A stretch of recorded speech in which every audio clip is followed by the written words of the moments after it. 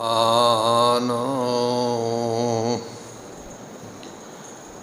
ਸਾਹਿਬ ਮਿਹਰਬਾਨੋ।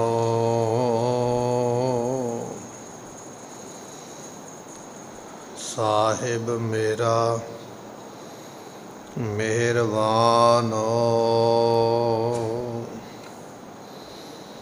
ਤੂੰ ਕਾਹ ਡੋਲੇ ਪ੍ਰਾਨੀਆਂ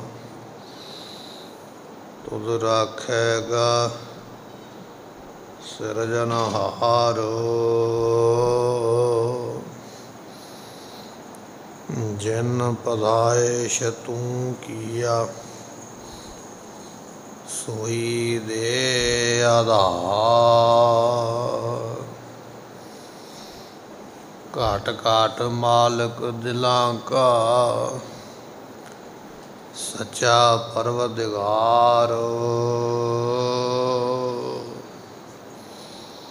ਜਿਨ ਉਪਾਈ ਮੇਦਨੀ ਸੋਈ ਕਰਦਾ ਸਾਰ।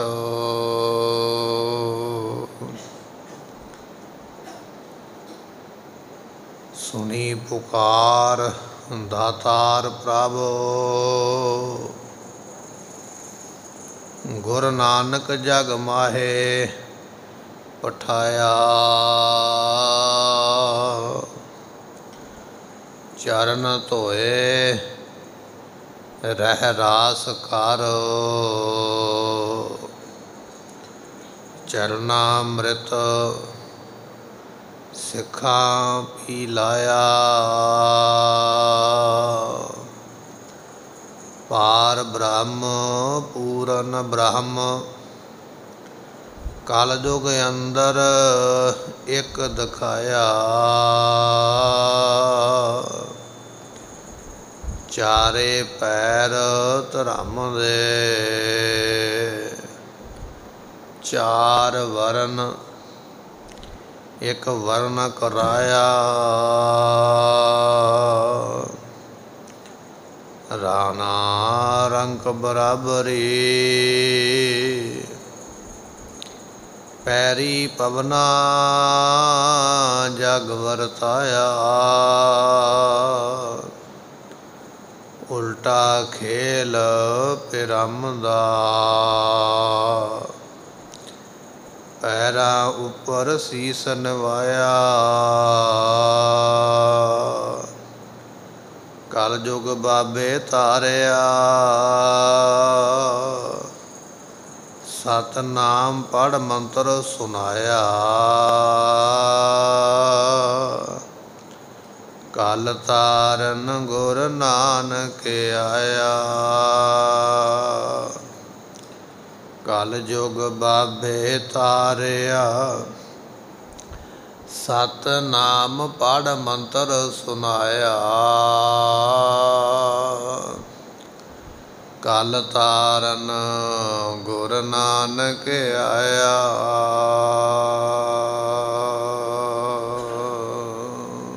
ਸਤਨਾਮ ਸ੍ਰੀ ਵਾਹਿਗੁਰੂ ਸਾਹਿਬ ਜੀਓ। ਜਿਸ ਗੁਰ ਮਿਲੈ ਤਿਸ ਪਾਰ ਉਤਾਰੈ। ਅਵਗਣ ਮੇਟੈ, ਗੁਣ ਨਿਸਤਾਰੈ। ਮੁਕਤ ਮਹਾ ਸੁਖ ਗੁਰ ਸ਼ਬਦ ਵਿਚਾਰ। ਗੁਰਮੁਖ ਕਦੇ ਨਾ ਆਵੈ ਹਾਰ। ਜਿਸ ਤਿਸ ਪਾਰ ਉਤਾਰੈ। ਵਾਹਿਗੁਰੂ ਜੀ ਕਾ ਖਾਲਸਾ। ਵਾਹਿਗੁਰੂ ਜੀ ਕੀ ਫਤਿਹ। ਸਤਿਗੁਰਾਂ ਦੀ ਸਾਜੀ ਨਵਾਜੀ ਗੁਰੂ ਕੀ ਸੰਗਤ। ਆਪ ਸੰਗਤਾਂ ਨੇ ਗੁਰੂ ਦਰਬਾਰ ਅੰਦਰ ਬੈਠ ਕੇ ਸਤਿਗੁਰਾਂ ਦੀ ਗੁਰਬਾਣੀ ਦੇ ਰਸ ਪਿੰਨੇ ਕੀਰਤਨ ਸ਼ਬਦ ਸਰਵਨ ਕਰਕੇ ਮਿਲੇ ਹੋਏ ਇਸ ਮਨੁੱਖਾ ਜਨਮ ਦੀਆਂ ਘੜੀਆਂ ਦਾ ਲਾਭ ਪ੍ਰਾਪਤ ਕੀਤਾ ਹੈ। ਇਸ ਵੇਲੇ ਸਤਿਗੁਰੂ ਕਿਰਪਾ ਕਰਕੇ ਲੜੀਵਾਰ ਕਥਾ ਦੀ ਦਾਤ ਸਾਨੂੰ ਬਖਸ਼ਿਸ਼ ਕਰ ਰਹੇ ਨੇ ਆਓ ਮਨ ਦੇ ਧਿਆਨ ਨੂੰ ਟਿਕਾਈਏ ਭਾਵਨਾ ਦੇ ਨਾਲ ਸਤਿਗੁਰਾਂ ਦੇ ਅੰਮ੍ਰਿਤ ਬਚਨ ਸਰਵਨ ਕਰੀਏ। ਮਿਲ ਕੇ ਆਖੀਏ, ਸਤਨਾਮ। ਸ੍ਰੀ ਵਾਹਿਗੁਰੂ ਸਾਹਿਬ ਜੀ। ਸਤਨਾਮ ਸ੍ਰੀ ਵਾਹਿਗੁਰੂ ਸਾਹਿਬ ਜੀਓ। ਜਿਸ ਗੁਰ ਮਿਲੈ ਤਿਸ ਪਾਰ ਉਤਾਰਾ। ਸਤਿਗੁਰੂ ਬਚਨ ਬਖਸ਼ਿਸ਼ ਕਰਦੇ ਗੁਰੂ ਨਾਨਕ ਸਾਹਿਬ ਮਹਾਰਾਜ ਜੀਆਂ ਦੀ ਇਹ ਪਵਿੱਤਰ ਬਾਣੀ ਹੈ। ਸਿੱਧ ਗੋਸ਼ਟ ਇਸ ਬਾਣੀ ਦਾ ਨਾਮ ਹੈ। ਸਤਿਗੁਰੂ ਫਰਮਾਉਂਦੇ ਨੇ, ਜਿਸ ਨੂੰ ਪੂਰੇ ਗੁਰੂ ਸਾਹਿਬ ਮਿਲ ਜਾਂਦੇ। ਤਿਸ ਪਾਰ ਉਤਾਰੇ, ਉਸ ਨੂੰ ਸੰਸਾਰ ਸਮੁੰਦਰ ਤੋਂ ਪਾਰ ਕਰ ਦਿੰਦੇ। ਜਿਸ ਨੂੰ ਪੂਰਾ ਗੁਰੂ ਪ੍ਰਾਪਤ ਹੁੰਦਾ ਹੈ, ਉਹਨੂੰ ਇਹ ਦਾਤ ਮਿਲਦੀ ਹੈ ਕਿ ਪੂਰੇ ਗੁਰੂ ਸੰਸਾਰ ਤੋਂ ਪਾਰ ਕਰ ਦਿੰਦੇ। ਤਾਂ ਇਹ ਬਚਨ ਆ ਗਿਆ, ਗੁਰ ਜੈਸਾ ਨਾਹੀ ਕੋ ਦੇਵ। ਗੁਰੂ ਵਰਗਾ ਕੋਈ ਨਹੀਂ ਹੈ। ਕਿਉਂਕਿ ਕੋਈ ਦੇਵਤਾ ਵੀ ਮਨੁੱਖ ਨੂੰ ਸੰਸਾਰ ਤੋਂ ਪਾਰ ਕਰ ਨਹੀਂ ਸਕਦਾ ਹੈ। ਉਹਦਾ ਕਾਰਨ ਇਹ ਹੈ ਕਿ ਦੇਵਤਿਆਂ ਦੀ ਆਪਣੀ ਪਹੁੰਚ ਅਜੇ ਸਵਰਗਾਂ ਤੱਕ ਹੀ ਹੈ। ਕੁਝ ਸਮੇਂ ਦਾ ਸੁੱਖ ਤੇ ਮਿਲੇਗਾ ਪੂਜਾ ਕਰਕੇ, ਪਰ ਮੋਕਸ਼ ਨਹੀਂ ਮਿਲਦੀ ਹੈ। ਪਰ ਗੁਰਮੁਖੋ, ਗੁਰੂ ਐਸਾ ਸਮਰੱਥ ਹੈ। ਸਤਿਗੁਰੂ ਕੇਵਲ ਮੋਕਸ਼ ਦੀ ਦਾਤ ਪ੍ਰਾਪਤ ਕਰਵਾ ਦਿੰਦਾ ਜਿਸ ਗੁਰ ਮਿਲੇ ਜਿਸ ਨੂੰ ਪੂਰੇ ਗੁਰੂ ਸਾਹਿਬ ਮਹਾਰਾਜ ਮਿਲ ਜਾਂਦੇ ਤਿਸ ਪਾਰ ਉਤਾਰੈ ਉਸ ਨੂੰ ਸੰਸਾਰ ਤੋਂ ਪਾਰ ਕਰ ਦਿੰਦੇ ਹਨ। ਅਵਗਣ ਮੇਟਾ ਗੁਣ ਨਿਸਤਾਰਾ। ਸਿੱਧਾਂ ਦਾ ਸਵਾਲ ਇਹ ਹੈ ਜਿਹਨੂੰ ਕੋਈ ਪਾਰ ਨਹੀਂ ਕਰ ਸਕਦਾ ਉਹਨੂੰ ਗੁਰੂ ਕਿਵੇਂ ਪਾਰ ਕਰ ਦਿੰਦਾ ਹੈ? ਤੇ ਸਤਿਗੁਰੂ ਜਵਾਬ ਦਿੰਦੇ, ਕਹਿਣ ਲੱਗੇ, ਸਤਿਗੁਰੂ ਸ਼ੁਭ ਗੁਣਾ ਦੀ ਦਾਤ ਬਖਸ਼ਿਸ਼ ਕਰਦੇ ਗੁਣ। ਸਤ ਸੰਤੋਖ ਦਇਆ ਧਰਮ, ਇਹ ਗੁਣ ਗੁਰੂ ਕੋਲੋਂ ਆ ਕੇ ਪ੍ਰਾਪਤ ਹੁੰਦਾ। ਤੇ ਜਿਨ੍ਹਾਂ ਨੂੰ ਸ਼ੁਭ ਗੁਣ ਪ੍ਰਾਪਤ ਹੁੰਦੇ, ਫਿਰ ਉਹਨਾਂ ਦੇ ਸਤਿਗੁਰੂ ਅਵਗੁਣ ਮੇਟ ਦਿੰਦੇ। ਤਾਂ ਹੀ ਆਪਾਂ ਬਚਨ ਪੜ੍ਹਦੇ ਆ ਨਾ, ਹਮ ਅਵਗੁਣ ਭਰੇ। ਮਹਾਰਾਜ, ਔਗੁਣਾ ਹੀ ਔਗੁਣਾ ਦੇ ਭਰੇ ਹੋਏ, ਸਾਡੇ ਤੇ ਕਿਰਪਾ ਕਰੋ, ਇਹ ਸਾਰੇ ਔਗੁਣ ਮੇਟ ਹੀ ਦਿਓ। ਤੇ ਸਤਿਗੁਰੂ ਔਗੁਣਾ ਨੂੰ ਮੇਟ ਕੇ ਕੀ ਕਰਦੇ? ਤੇ ਸਪਾਰ ਉਤਾਰੈ, ਗੁਣ ਨਿਸਤਾਰੈ, ਸ਼ੁਭ ਗੁਣਾ ਦੀ ਪ੍ਰਾਪਤੀ ਮਹਾਰਾਜ ਕਰਵਾ ਦਿੰਦੇ। ਗੁਰੂ ਪਾਰ ਕਿਵੇਂ ਕਰਾਉਂਦਾ ਹੈ? ਗੁਰੂ ਪਾਰ ਇਸ ਤਰ੍ਹਾਂ ਕਰਾਉਂਦਾ ਵੀ ਸ਼ੁਭ ਗੁਣ ਦੇ ਕੇ ਔਗੁਣਾ ਨੂੰ ਮੇਟ ਕੇ ਪਾਰ ਕਰ ਦਿੰਦਾ ਹੈ। ਕਬੀਰ ਸੇਵਾ ਕੋ ਦੋਏ ਭਲੇ, ਇੱਕ ਸੰਤ, ਇੱਕ RAM RAM ਜੋ ਦਾਤਾ ਮੁਕਤ ਕੋ ਸੰਤ ਜਪਾਵੇ। ਇਹ ਗੁਣ ਹੈ। ਜਿਹੜੇ ਸੰਤ ਨੇ, ਜਿਹੜੇ ਗੁਰੂ ਨੇ, ਉਹ ਨਾਮ ਜਪਾਉਂਦੇ, ਇਹ ਸ਼ੁਭ ਗੁਣ ਦੇ ਦਿੰਦੇ। ਨਾਮ ਜਪਣਾ ਹੀ ਸਭ ਤੋਂ ਵੱਡਾ ਗੁਣ ਹੈ। ਤੇ ਨਾਮ ਦੇ ਨਾਲ ਬਾਕੀ ਪਦਾਰਥ ਆਪਣੇ ਆਪ ਹੀ ਮਿਲ ਜਾਂਦੇ। ਤੇ ਪਾਤਸ਼ਾਹ ਫਰਮਾਉਂਦੇ, ਫਿਰ RAM ਜੋ ਦਾਤਾ ਮੁਗਤ ਕੋ ਸੰਤ ਜਪਾਵੇ, ਜਦੋਂ ਸੰਤ ਨਾਮ ਜਪਾਉਂਦਾ ਹੈ, ਔਗਣ ਆਪੇ ਹੀ ਮਿਟਦੇ ਜਾਂਦੇ। ਗੁਣਾ ਦੀ ਪ੍ਰਾਪਤੀ ਹੁੰਦੀ, ਗੁਰੂ ਇਸ ਤਰ੍ਹਾਂ ਪਾਰ ਕਰਦਾ ਹੈ। ਸਿੱਧ ਦਾ ਸਵਾਲ ਇਹ ਹੈ ਵੀ ਗੁਰੂ ਪਾਰ ਕਿਵੇਂ ਕਰਦਾ ਔਗਣਾ ਨੂੰ ਮਟਾ ਕੇ ਗੁਣਾ ਦੀ ਦਾਤ ਦੇ ਕੇ। ਤੇ ਗੁਰਮੁਖੋ ਜੇ ਆਪਾਂ ਨੂੰ ਸੰਗਤ ਵਿੱਚ ਆਉਂਦੇ ਆ, ਸਾਲ ਹੋ ਗਿਆ 5 ਸਾਲ ਹੋ ਗਏ ਤੇ ਸਾਡੇ ਵਿੱਚ ਔਗਣ ਉਸੇ ਤਰ੍ਹਾਂ ਹੀ ਭਰੇ ਨੇ ਨਿੰਦਿਆ ਦਾ, ਚੁਗਲੀ ਦਾ, ਈਰਖਾ ਦਾ, ਬਖੀਲੀ ਦਾ। ਤੇ ਫਿਰ ਇਹਦਾ ਮਤਲਬ ਇਹ ਹੈ ਵੀ ਅਜੇ ਗੁਰੂ ਦੇ ਬਚਨ ਦੇ ਉੱਪਰ ਅਸੀਂ ਪਹਿਰਾ ਦਿੱਤਾ ਨਹੀਂ ਹੈ। ਜਿੰਨਾ ਚਿਰ ਇਹ ਔਗਣ ਮੇਟਦੇ ਨਹੀਂ ਨਾ ਗੁਰੂ ਦੇ ਕੋਲ ਆ ਕੇ। ਪਰ ਕਾ ਬੁਰਾ ਨਾ ਰਾਖੋ ਚੀਤ, ਤੁਮਕੋ ਦੁਖ ਨਹੀਂ। ਬਿਸਰ ਗਈ ਸਭ ਤਾਤ ਪਰਾਈ ਇਹ ਬਚਨ ਮਹਾਰਾਜ ਜੀਆਂ ਦੇ। ਗੁਰੂ ਦੇ ਕੋਲ ਆਏ ਆ ਔਗਣਾ ਨੂੰ ਹੌਲੀ ਹੌਲੀ ਕਰਕੇ ਛੱਡ ਦਈਏ ਗੁਣਾ ਦੀ ਧਾਰਨਾ ਬਣਾਈਏ ਤਾਂ ਕਿ ਸਤਿਗੁਰੂ ਪਾਰ ਕਰਨਾ ਕਰਨਾ। ਮੁਕਤ ਮਹਾ ਸੁਖ ਗੁਰ ਸ਼ਬਦ ਵਿਚਾਰ। ਸਤਿਗੁਰੂ ਪਾਤਸ਼ਾਹ ਕਹਿਣ ਲੱਗੇ ਗੁਰ ਸ਼ਬਦ ਜੋ ਗੁਰੂ ਦਾ ਸ਼ਬਦ ਉਪਦੇਸ਼ ਹੈ ਨਾ ਤੇ ਜਿਹੜੇ ਗੁਰਮੁਖ ਉਹਦੀ ਵਿਚਾਰ ਕਰਦੇ ਗੁਰੂ ਦੇ ਸ਼ਬਦ ਦੀ ਜਿਨ੍ਹਾਂ ਨੇ ਵਿਚਾਰ ਕੀਤੀ ਹੈ ਉਹਨਾਂ ਨੂੰ ਕੀ ਮਿਲਿਆ? ਮਹਾ ਸੁਖ, ਵੱਡਾ ਸੁਖ ਮਿਲਿਆ। ਤੇ ਵੱਡਾ ਸੁਖ ਤੇ ਗੁਰਮੁਖੋ ਕੇਵਲ ਮੋਕਸ਼ ਦਾ ਹੀ ਹੈ। ਆ ਦੁਨੀਆ ਦੇ ਸੁਖ ਜਿਹੜੇ ਨੇ ਨਾ, ਇਹ ਕੁਝ ਮਹੀਨਿਆਂ ਦੇ ਨੇ, ਜਾਂ ਕਹਿ ਲਈਏ ਕੁਝ ਸਾਲਾਂ ਦੇ ਨੇ। ਕੁਝ ਵੀ ਨਹੀਂ ਦੁਨੀਆ ਦੇ ਸੁਖ। ਕੋਈ ਸੁਖ ਸਾਨੂੰ ਮਿਲਿਆ, ਕੋਈ ਸ਼ੁਭ ਸਮਾਚਾਰ ਮਿਲਿਆ, ਕੀ ਮਿਲਿਆ? ਖੁਸ਼ੀ ਦੀ ਖਬਰ ਤੇ ਮਿਲੀ ਹੈ। ਨਾਲ ਹੀ ਮਗਰੋਂ ਗਮੀ ਦਾ ਸਿਨਿਆ ਵੀ ਆ ਗਿਆ। ਦੁਨੀਆ ਦੇ ਸੁੱਖ ਤੇ ਕੁਝ ਘੰਟਿਆਂ ਦੇ, ਕੁਝ ਮਹੀਨਿਆਂ ਦੇ, ਜਾਂ ਕਹਿ ਲਈਏ ਕੁਝ ਸਾਲਾਂ ਦੇ ਨੇ। ਇਹਨਾਂ ਸੁੱਖਾਂ ਨੇ ਮਿਟ ਜਾਣਾ ਹੈ। ਪਰ ਜਿਹੜਾ ਕੇਵਲ ਮੋਕਸ਼ ਦਾ ਸੁਖ ਹੈ, ਉਹ ਸਦਾ ਵਾਸਤੇ ਰਹਿਣ ਵਾਲਾ। ਮਹਾਰਾਜ ਦਿੰਦੇ ਨੇ ਮਹਾ ਸੁਖ ਵੱਡਾ ਸੁਖ ਕਿਹੜਾ ਹੈ? ਉਹ ਕੇਵਲ ਮੋਕਸ਼ ਦਾ ਹੈ।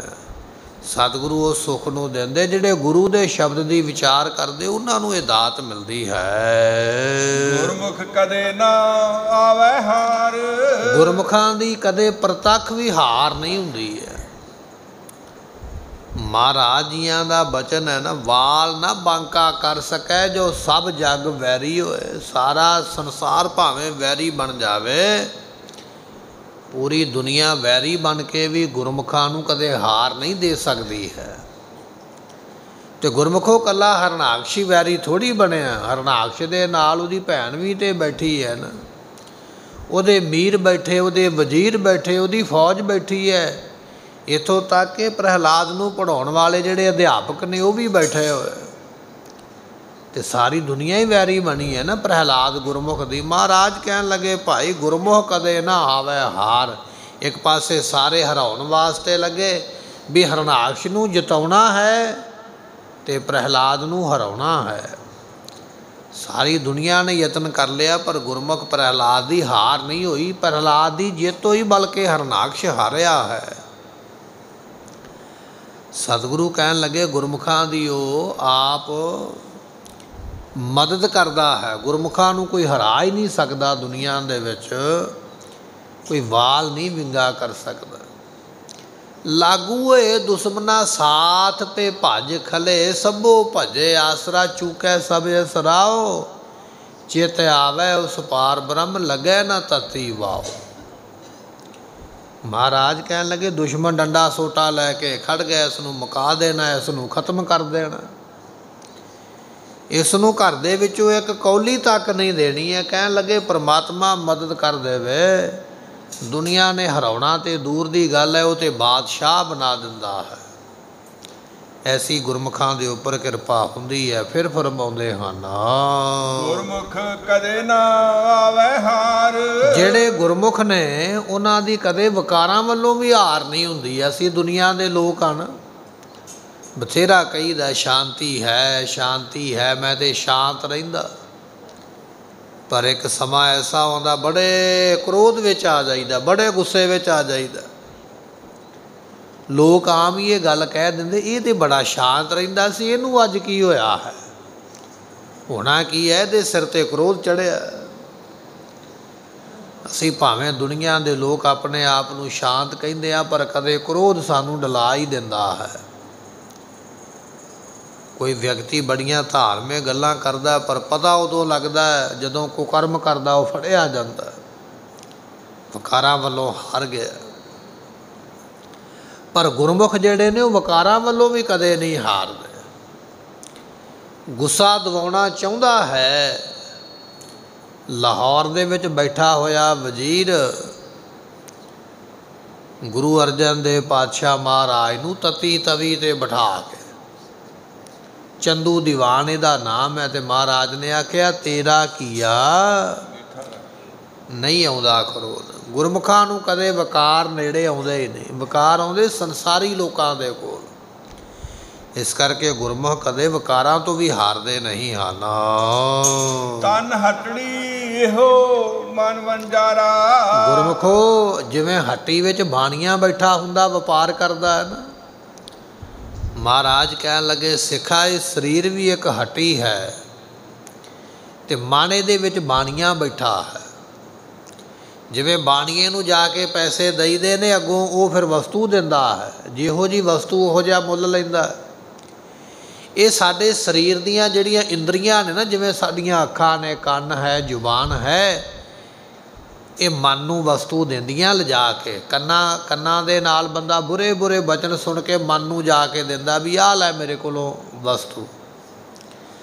ਅੱਖਾਂ ਨਾਲ ਬੁਰੀਆਂ ਬੁਰੀਆਂ, ਗੰਦੀਆਂ ਬੰਦੀਆਂ ਚੀਜ਼ਾਂ ਵੇਖ ਕੇ, ਲੋਕਾਂ ਨੂੰ ਨੰਗੇ ਵੇਖ ਕੇ ਅੱਖਾਂ ਜਾ ਕੇ ਇਹ ਦ੍ਰਿਸ਼ ਦਿੰਦੀਆਂ ਵੀ ਲੈ ਮਨ, ਅਸੀਂ ਦੁਨੀਆ ਤੇ ਨੰਗਪੁਣਾ ਵਿਖਿਆ ਹੈ। ਜ਼ੁਬਾਨ ਨਿੰਦਿਆ ਦੇ ਬਚਨ ਕਰਦੀ ਹੈ। ਜਿਹੋ ਜਿਹਾ ਪਦਾਰਥ ਮਨ ਰੂਪੀ ਬਾਣੀਏ ਨੂੰ ਦੇਵਾਂਗੇ, ਅਗੋ ਬਾਣੀਆਂ ਵੀ ਤੇ ਫਿਰ ਉਹੋ ਜੀ ਚੀਜ਼ ਦੇਵੇਗਾ ਨਾ। ਜਿਸ ਤਰ੍ਹਾਂ ਦੁਕਾਨ ਵਿੱਚ ਬੈਠੇ ਬਾਣੀਏ ਨੂੰ ਕੋਈ ਜਾ ਕੇ ਧਨ ਦਿੰਦਾ, ਜਿਹੋ ਜੀ ਮਾਇਆ ਦਿੰਦਾ, ਉਹੋ ਜਿਹਾ ਪਦਾਰਥ ਪਾਉਂਦਾ, ਇਹ ਸਾਡਾ ਸਰੀਰ ਇੱਕ ਹੱਟੀ ਹੈ ਤੇ ਸਾਡੀਆਂ ਇਹ ਅੱਖਾਂ, ਇਹ ਸਰੀਰ ਦੇ ਇੰਦਰੇ ਜਿਹੋ ਜੀ ਵਿਚਾਰ, ਜਿਹੋ ਜਿਹਾ ਦ੍ਰਿਸ਼ ਵੇਖ ਕੇ ਮਨ ਨੂੰ ਭੇਟ ਦਿੰਦੇ ਨੇ, ਮਨ ਵੀ ਅਗੋ ਉਹੋ ਜਿਹਾ ਹੀ ਪਦਾਰਥ ਦੇ ਦਿੰਦਾ। ਜੇ ਕੋਈ ਮਾੜਾ ਵੇਖਦਾ ਤੇ ਮਨ ਵੀ ਕਾਮ ਦਾ ਫੁਰਨਾ ਕਰਦਾ ਜੇ ਕੋਈ ਮਾੜਾ ਸੁਣਦਾ ਹੈ ਤੇ ਮਨ ਵੀ ਉਸ ਵੇਲੇ ਚੁਗਲੀ ਦਾ ਫੁਰਨਾ ਕਰਦਾ ਹੈ। ਜੇ ਕੋਈ ਮਾੜਾ ਬੋਲਦਾ ਹੈ ਤੇ ਮਨ ਵੀ ਉਸ ਵੇਲੇ ਨਿੰਦਿਆ ਦਾ ਬਚਨ ਸੁਣਨ ਜਾਂ ਕਰਨ ਦੀ ਉਸ ਵੇਲੇ ਹਾਲਤ ਵਿੱਚ ਆਉਂਦਾ ਮਹਾਰਾਜ ਕਹਿਣ ਲੱਗੇ, ਤਨ ਹਟੜੀ ਉਹ ਮਨ ਮਨ ਜਾਰਾ ਇਹ ਸਰੀਰ ਤੇ ਹਟੀ ਹੈ ਤੇ ਮਨ ਇਸ ਵਿੱਚ ਮਨਜਾਰਾ ਕਰਨ ਵਾਲਾ ਵਪਾਰ ਬੈਠਾ ਹੋਇਆ ਹੈ। ਨਾਨਕ ਸਹਜੇ ਸੱਚ ਵਪਾਰਾ। ਮਹਾਰਾਜ ਕਹਿਣ ਲੱਗੇ ਗੁਰਮੁਖ ਸਹਜੇ ਹੀ ਸੱਚ ਨਾਮ ਦਾ ਵਪਾਰ ਕਰਦੇ ਕਿਉਂਕਿ ਗੁਰਮੁਖਾਂ ਨੇ ਜੇਤਾ ਬੋਲਣ ਤੇਤਾ ਨਾਮ। ਜੇ ਬੋਲਦੇ ਨੇ ਤੇ ਨਾਮ ਜੇ ਸੁਣਦੇ ਨੇ ਨਾਮ ਜੇ ਵੇਖਦੇ ਨੇ ਤੇ ਤਾਂ ਵੀ ਨਾਮ ਹੀ ਗੁਰੂ ਪਾਤਸ਼ਾਹ ਦੇ ਦਰਸ਼ਨ ਹੀ ਕਰਦੇ। ਇਸ ਕਰਕੇ ਗੁਰਮੁਖਾਂ ਦਾ ਵੇਖਣਾ ਵੀ ਸਫਲਾ ਸੁਣਨਾ ਤੇ ਬੋਲਣਾ ਵੀ ਸਫਲਾ ਹੈ। ਤੇ ਫਿਰ ਜਿਹੋ ਜਿਹਾ ਵੇਖਦੇ ਬੋਲਦੇ ਉਹੋ ਜਿਹਾ ਹੀ ਉਹਨਾਂ ਗੁਰਮੁਖਾਂ ਦਾ ਜਿਹੜਾ ਮਨ ਹੈ ਉਹ ਵੀ ਨਾਮ ਜਪ ਕੇ ਸਫਲਾ ਹੁੰਦਾ ਹੈ। ਗੁਰਮੁਖ ਬਾਂਧਿਓ ਸੇਤ ਵਿਦਾਤੇ ਇਥੇ ਗੁਰਮੁਖ ਨਾਮ ਰਾਮਚੰਦਰ ਜੀ ਦਾ ਹੈ ਵੀ ਰਾਮਚੰਦਰ ਦੀਆਂ ਨੇ। ਲੰਕਾ ਵਿੱਚ ਪਹੁੰਚਣ ਵਾਸਤੇ ਸੇਤ ਕਹੀਏ ਪੁਲ ਬੰਧਨਾ ਕੀਤਾ ਹੈ। ਗੁਰਮੁਖ ਬਾਂਧਿਓ ਸੇਤ ਵਧਾਤਾ ਜੋ ਵਿਧਾਤਾ ਹੈ ਫਲ ਵਰਦਾਤੇ ਰਾਮਚੰਦਰ ਜੀ ਹੋਏ, ਉਹਨਾਂ ਨੇ ਪੁਲ ਬੰਧਨਾ ਕੀਤਾ ਹੈ। ਗੁਰੂ ਨਾਨਕ ਦੇਵ ਮਹਾਰਾਜ ਸਾਹਿਬ ਜੀ ਜਦੋਂ ਲੰਕਾ ਨੂੰ ਜਾਂਦੇ ਪਏ ਨਾ, ਤੇ ਭਾਈ ਮਰਦਾਨਾ ਜੀ ਨੇ ਪੁੱਛਿਆ, ਕਹਿਣ ਲੱਗਾ, ਮਹਾਰਾਜ, ਗ੍ਰੰਥਾਂ ਵਿੱਚ ਸੁਣਿਆ ਵੀ ਰਾਮ ਜੀਆਂ ਨੇ ਪੱਥਰਾਂ ਦਾ ਪੁਲ ਬੱਧਾ ਹੈ। ਕਿ ਆਪਾਂ ਵੀ ਉਸ ਪੁਲ ਦੇ ਦੁਆਰਾ ਹੀ ਜਾਵਾਂਗੇ ਲੰਕਾ ਦੇ ਵਿੱਚ? ਤੇ ਮਹਾਰਾਜ ਕਹਿਣ ਲੱਗੇ, ਨਹੀਂ ਮਰਦਾਨਾ ਜੀ ਜਿਸ ਰਾਮ ਦਾ ਨਾਮ ਲੈ ਕੇ ਰਾਮ ਜੀ ਨੇ ਪੁਲ ਬੱਧਾ ਹੈ, ਆਪਾਂ ਉਹ ਰਾਮ ਦਾ ਹੀ ਨਾਮ ਲੈ ਕੇ ਉੱਥੇ ਜਾਵਾਂਗੇ। ਆਪਾਂ ਨੂੰ ਪੁਲ ਦੀ ਲੋੜ ਨਹੀਂ ਹੈ। ਰਾਮ ਦਾ ਨਾਮ ਜਪ ਕੇ, ਪਰਮੇਸ਼ਰ ਦਾ ਨਾਮ ਜਪ ਕੇ ਪੁਲ ਬੰਨਿਆ ਗਿਆ ਹੈ। ਅਸੀਂ ਵੀ ਉਸੇ ਨਾਮ ਦਾ ਹੀ ਆਸਰਾ ਲੈ ਕੇ ਲੰਕਾ ਵਿੱਚ ਪਹੁੰਚਾਂਗੇ। ਤੇ ਭਾਈ ਮਰਦਾਨਾ ਜੀ ਕਹਿਣ ਲੱਗੇ ਮਹਾਰਾਜ ਇਹ ਕਿਸ ਤਰ੍ਹਾਂ ਇਹ ਸਾਰਾ ਵਾਕਾ ਵਾਪਰਿਆ ਹੈ? ਤੇ ਮਹਾਰਾਜ ਫਿਰ ਇਸ ਪੰਕਤੀ ਨੂੰ ਫਰਮਾਉਂਦੇ ਹਨ। ਗੁਰਮੁਖ ਬਾਂਧਿਓ ਸੇਤ ਵਿਧਾਤੇ ਗੁਰਮੁਖ ਜਿਹੜੇ ਰਾਮਚੰਦਰ ਜੀ ਸਨ ਉਹਨਾਂ ਨੇ ਆਪਣੇ ਗੁਰੂ ਵਿਸ਼ਿਸ਼ਟ ਜੀਆਂ ਨੂੰ ਪੁੱਛ ਕੇ ਉਹਨਾਂ ਦੀ ਮਤੀ ਲੈ ਕੇ ਤੇ ਇਸ ਪੁਲ ਨੂੰ ਬੰਧਨਾ ਕੀਤਾ ਹੈ। ਇਤਿਹਾਸ ਵਿੱਚ ਬਚਨ ਆਉਂਦਾ ਵੀ ਜਦੋਂ ਰਾਵਣ ਸੀਤਾ ਜੀ ਦਾ ਅਪਹਰਣ ਕਰਕੇ ਅਗਵਾ ਕਰਕੇ ਲੰਕਾ ਵਿੱਚ ਲੈ ਗਿਆ ਨਾ, ਤੇ ਰਾਮ ਜੀਆਂ ਨੇ ਛਡਾਉਣ ਵਾਸਤੇ ਕਈ ਯਤਨ ਕੀਤੇ, ਸ਼ਾਂਤੀ ਦੂਤ ਵੀ ਭੇਜੇ। ਪਰ ਰਾਵਣ ਕਿੱਥੇ ਮੰਨਣ ਵਿੱਚ ਆਵੇ, ਕਹਿਣ ਲੱਗਾ ਵੀ ਨਹੀਂ, ਮੈਂ ਨਹੀਂ ਮੰਨਦਾ, ਮੈਂ ਤੇ ਆਪਣੀ ਮਰਜ਼ੀ ਦਾ ਮਾਲਕ ਹਾਂ। ਉਸ ਵੇਲੇ ਰਾਮਚੰਦਰ ਜੀ ਲੰਕਾ ਵੇ ਜਾਣ ਵਾਸਤੇ ਰਾਮੇਸ਼ਵਰ ਨਾਮ ਦਾ ਇੱਕ ਸਥਾਨ ਹੈ ਆਪਣੇ ਹਿੰਦੁਸਤਾਨ ਦੀ ਧਰਤੀ ਤੇ। ਉਥੋਂ ਪੁਲ ਦੀ ਸ਼ੁਰੂਆਤ ਕੀਤੀ ਹੈ। 400 ਯੋਜਨ ਦਾ ਲੰਮਾ ਪੈਂਡਾ ਹੈ ਰਾਮੇਸ਼ਵਰ ਤੋਂ ਲੰਕਾ ਜਾਣਾ। ਇੰਨਾ ਲੰਮਾ ਰਾਹ ਲੱਭਣ ਵਾਸਤੇ ਰਾਮਚੰਦਰ ਜੀ ਰਾਮੇਸ਼ਵਰ ਵਾਲੇ ਸਥਾਨ ਤੇ ਖੜ ਕੇ ਆਪਣੀ ਕਮਾਨ ਦੇ ਵਿੱਚ ਉਹਨਾਂ ਨੇ ਅਗਨ ਤੀਰ ਜਿਹੜਾ ਸੀ ਨਾ, ਉਹ ਸਿੰਨਿਆ ਸਮੁੰਦਰ ਵੱਲ ਵੇਖ ਕੇ ਜਦੋਂ ਅਗਨ ਤੀਰ ਸਿੰਨਿਆ ਨਾ ਤੇ ਉਸ ਵੇਲੇ ਸੂਖਮ ਰੂਪ ਦੇ ਵਿੱਚ ਸਮੁੰਦਰ ਜਿਹੜਾ ਪ੍ਰਗਟ ਹੋ ਗਿਆ RAM ਜੀ ਦੇ ਸਾਹਮਣੇ ਕਹਿਣ ਲੱਗਾ, ਜੀ, ਮੇਰਾ ਕੀ ਕਸੂਰ ਹੈ? ਤੁਸੀਂ ਮੇਰੇ ਵੱਲ ਅਗਨੀ ਬਾਣ ਵਿੰਨਿਆ ਹੈ ਚਲਾਉਣ ਵਾਸਤੇ, ਮੇਰਾ ਕਸੂਰ ਕੀ ਹੈ? RAM ਜੀ ਕਹਿਣ ਲੱਗੇ, ਤੇਰਾ ਕਸੂਰ ਕੋਈ ਨਹੀਂ ਹੈ, ਪਰ ਸਾਨੂੰ ਰਸਤਾ ਚਾਹੀਦਾ, ਰਸਤਾ ਦੇ, ਅਸੀਂ ਲੰਕਾ ਪਹੁੰਚਣਾ ਹੈ। ਇਹ ਬਚਨ ਸੁਣ ਕੇ ਸਮੁੰਦਰ ਨੇ ਆਖਿਆ, ਕਹਿਣ ਲੱਗਾ RAM ਜੀ ਇਸ ਪਹੇਲੀ ਦਾ ਰਾਜ ਤੇ ਤੁਹਾਡੇ ਗੁਰੂ ਹੀ ਤੁਹਾਨੂੰ ਦੱਸ ਸਕਦੇ ਨੇ। ਆਪਣੇ ਗੁਰੂ ਕੋਲੋਂ ਪੁੱਛੋ ਵੀ ਜਾਣਾ ਕਿਵੇਂ ਹੈ। ਗੁਰਬਿਨ ਘੋਰ ਅੰਧਾਰ, ਗੁਰੂ ਬਿਨ ਰਾਮਚੰਦਰ ਵਰਗਿਆਂ ਨੂੰ ਵੀ ਗੁਰੂ ਦੀ ਸਲਾਹ ਲੈਣੀ ਪਈ ਹੈ। ਗੁਰੂ ਕੋਲੋਂ ਪੁੱਛਣਾ ਪਿਆ। ਰਾਮਚੰਦਰ ਨੂੰ ਤ੍ਰੇਤੇ ਦਾ ਅਵਤਾਰ ਮੰਨਿਆ ਜਾਂਦਾ ਹੈ। ਇੱਕ ਤ੍ਰੇਤੇ ਦਾ ਅਵਤਾਰ ਪੈਗੰਬਰ ਹੈ। ਕਹਿਣ ਲੱਗੇ, ਉਹ ਪੈਗੰਬਰ ਵੀ ਗੁਰੂ ਤੋਂ ਬਿਨਾ ਇਹ ਫੈਸਲਾ ਨਹੀਂ ਲੈ ਸਕਿਆ, ਪਹੁੰਚ ਨਹੀਂ ਸਕਿਆ ਮੰਜ਼ਲ ਤੇ। ਤੇ ਕਈ ਵਾਰੀ ਆਪਾਂ ਵੀ ਇਹ ਗੱਲ ਕਹਿ ਦਿੰਦੇ, ਮੈਨੂੰ ਗੁਰੂ ਦੀ ਕੀ ਲੋੜ ਹੈ ਮੈਂ ਤੇ ਆਪ ਹੀ ਬੜਾ ਸਿਆਣਾ। ਸਿਆਣੇ ਤੇ ਰਾਮਚੰਦਰ ਵਰਗੇ ਵੀ ਹੋਏ ਦੁਨੀਆ ਤੇ, ਪਰ ਗੁਰੂ ਦੀ ਸਲਾਹ ਤੇ ਉਹਨਾਂ ਨੂੰ ਵੀ ਲੈਣੀ ਪਈ ਹੈ। ਰੋ ਵਿਚਾਰ ਸਮੁੰਦਰ ਨੇ ਇਹ ਗੱਲ ਕਹੀ, ਕਹਿਣ ਲੱਗੇ RAM ਜੀ, ਜੇ ਲੰਕਾ ਪਹੁੰਚਣਾ ਹੈ, ਤੀਰ ਚਲਾਉਣ ਦੀ ਲੋੜ ਨਹੀਂ, ਪਰ ਤੁਹਾਨੂੰ ਰਸਤਾ ਤੁਹਾਡੇ ਗੁਰੂ ਨੇ ਹੀ ਦੱਸਣਾ ਹੈ। ਉਹਨਾਂ ਨੂੰ ਯਾਦ ਕਰੋ, ਉਹਨਾਂ ਨੂੰ ਪੁੱਛੋ ਵੀ ਕਿਵੇਂ ਜਾਣਾ ਹੈ। ਆਪਣਾ ਅਗਨੀ ਬਾਣ ਵਾਪਸ ਲੈ ਲਿਆ, ਆਪਣੇ ਗੁਰੂ ਦਾ ਅਰਾਧਨ ਕੀਤਾ। ਜਿਸ ਵੇਲੇ ਰਾਮਚੰਦਰ ਜੀਆਂ ਨੇ ਆਪਣੇ ਗੁਰੂ ਨੂੰ ਅਰਾਧਿਆ ਨਾ, ਵਿਸ਼ਿਸ਼ਟ ਜੀਆਂ ਨੂੰ, ਰਾਮਚੰਦਰ ਜੀ ਦੇ ਗੁਰੂ ਦਾ ਨਾਮ ਵਿਸ਼ਿਸ਼ਟ ਮੁਨੀ ਹੈ। ਅਰਾਧਿਆ, ਅਰਾਧ ਕੇ ਪੁੱਛਿਆ, ਗੁਰੂ ਜੀ, ਲੰਕਾ ਜਾਣਾ ਕਿਵੇਂ ਜਾਈਏ? ਤੇ ਉਹਨਾਂ ਨੇ ਇਹਦੇ ਅੰਦਰ ਪ੍ਰਕਾਸ਼ ਕੀਤਾ, ਗਿਆਨ ਦਿੱਤਾ। ਗਿਆਨ ਦੇ ਕੇ ਆਖਿਆ, ਕਹਿਣ ਲੱਗੇ RAM ਜੀ, ਤੁਹਾਡੀ ਫੌਜ ਦੇ ਵਿੱਚ ਇੱਕ ਨਲ ਤੇ ਇੱਕ ਨੀਲ ਨਾਮ ਦੇ ਦੋ ਸੂਰਮੇ ਨੇ, ਕੁਬੇਰ ਜੀਆਂ ਦੇ ਪੁੱਤਰ ਨੇ। ਇਹਨਾਂ ਦੋਨਾਂ ਨੂੰ ਸ਼ਰਾਫ ਮਿਲਿਆ ਹੋਇਆ ਹੈ। ਪਿਛਲੇ ਕਿਸੇ ਸਮੇਂ ਦੇ ਵਿੱਚ ਉਹ ਸ਼ਰਾਫ ਦਾ ਤੁਸੀਂ ਲਾਹਾ ਲਓ ਇਹਨਾਂ ਦੇ ਕੋਲੋਂ। ਰਾਮ ਜੀ ਨੇ ਪੁੱਛਿਆ ਵੀ ਸ਼ਰਾਬ ਕੀ ਮਿਲਿਆ? ਕਹਿੰਦੇ ਜੀ ਸ਼ਰਾਬ ਮਿਲਿਆ ਜਿਹੜੇ ਰਿਖੀ ਮੁਨੀ ਸਨ, ਉਹ ਠਾਕੁਰ ਦੀ ਪੂਜਾ ਕਰਨ ਵਾਸਤੇ ਠਾਕੁਰ ਸਾਹਮਣੇ ਰੱਖ ਲੈਂਦੇ ਸਨ ਤੇ ਪੂਜਾ ਕਰਦੇ ਸਨ। ਇਹ ਜਿਹੜੇ ਨਲ ਨੀਲ ਸਨ, ਇਹ ਬੱਚਿਆਂ ਦੇ ਰੂਪ ਦੇ ਵਿੱਚ ਸਨ। ਸ਼ਰਾਰਤ ਕਰਨੀ ਬੱਚਿਆਂ ਦਾ ਕੰਮ ਹੁੰਦਾ, ਉਹਨਾਂ ਨੇ ਪੱਥਰ ਚੁੱਕਣਾ ਤੇ ਚੋਕੇ ਪਾਣੀ ਵਿੱਚ ਸੁੱਟਾਉਣਾ ਦੁਬਾਰਾ ਰਿਖੀ ਮੁਨੀਆਂ ਨੇ ਫਿਰ ਲੱਭ ਕੇ ਲਿਆਉਣਾ ਠਾਕੁਰ, ਉਹਨੂੰ ਨਵਾ ਧਵਾ ਕੇ ਉਹਨੂੰ ਪੂਜਾ ਕਰਨੀ, ਤਿਲਕ ਵਗੈਰਾ ਲਾਉਣਾ। ਜਦੋਂ ਪੂਜਾ ਕਰਨੀ ਤੇ ਪੂਜਾ ਤੋਂ ਬਾਅਦ ਵਿੱਚ ਇਹਨਾਂ ਨੇ ਫਿਰ ਚੁੱਕਣਾ ਤੇ ਫਿਰ ਪਾਣੀ ਵਿੱਚ ਸੁੱਟ ਆਉਣਾ, ਉਹ ਰਿਖੀ ਵਿਚਾਰੇ ਬੜੇ ਦੁਖੀ ਹੋ ਗਏ। ਮਸਾਂ ਠਾਕੁਰ ਲੱਭ ਕੇ ਲਿਆਈਦਾ, ਚੋਕੇ ਪਾਣੀ ਵਿੱਚ ਸੁੱਟ ਆਉਂਦਾ। ਉਹਨਾਂ ਰਿਖੀਆਂ ਨੇ ਸ਼ਰਾਪ ਹੀ ਦੇ ਦਿੱਤਾ, ਕਹਿਣ ਲੱਗੇ, ਨਲ ਤੇ ਨੀਲ ਤੁਹਾਨੂੰ ਸ਼ਰਾਪ ਇਹ ਹੈ, ਤੁਸੀਂ ਪੱਥਰ ਚੋਕੇ ਪਾਣੀ ਵਿੱਚ ਸੁੱਟੋਗੇ ਨਾ, ਸਾਡੇ ਠਾਕੁਰ ਨੂੰ ਤੇ ਪਾਣੀ ਵਿੱਚ ਡੁੱਬੇਗਾ ਨਹੀਂ। ਰਾਮ ਜੀਆਂ ਦੇ ਗੁਰੂ ਨੇ ਪਹਿਲੀ ਦੱਸੀ, ਰਾਜ ਦੱਸਿਆ, ਕਹਿਣ ਲੱਗੇ, ਰਾਮ ਜੀ ਤੁਹਾਡੀ ਫੌਜ ਵਿੱਚ ਹੀ ਨੇ, ਦੋਨੇ ਜਾਣੇ ਨਾਲ ਤੇ ਨੀਲ, ਬੁਲਾਓ ਉਹਨਾਂ ਨੂੰ। ਉਹਨਾਂ ਨੂੰ ਸ਼ਰਾਫ ਮਿਲਿਆ ਵੀ ਉਹਨਾਂ ਦੇ ਹੱਥ ਦਾ ਸਟਿਆ ਹੋਇਆ, ਪੱਥਰ ਨਹੀਂ ਡੁੱਬੇਗਾ। ਤੇ ਤੁਸੀਂ ਉਹਨਾਂ ਦੇ ਰਾਹੀਂ ਪੱਥਰ ਰਖਾਓ ਪਾਣੀ ਦੇ ਵਿੱਚ ਤੇ ਪੱਥਰ ਦੇ ਉੱਪਰ ਲਿਖਿਆ ਜਾਵੇ RAM RAM RAM ਜਦੋਂ ਇਸ ਤਰ੍ਹਾਂ ਵਿਸ਼ਿਸ਼ਟ ਜੀ ਨੇ ਆਖਿਆ, ਉਸ ਵੇਲੇ RAM ਜੀ ਨੇ ਇਹਨਾਂ ਦੋਨਾਂ ਨੂੰ ਬੁਲਾ ਲਿਆ। ਨਲ ਤੇ ਨੀਲ ਭਰਾ ਸਨ ਦੋਨੇ। ਇਹ ਫਿਰ ਦੋਨੇ ਜਾਣੇ ਪੱਥਰ ਦੇ ਉੱਪਰ ਲਿਖਦੇ ਰਾਮ ਤੇ ਉਸ ਪੱਥਰ ਨੂੰ ਪਾਣੀ ਤੇ ਰੱਖ ਦਿੰਦੇ, ਉਹ ਪੱਥਰ ਤਰਨ ਲੱਗ ਪੈਂਦਾ।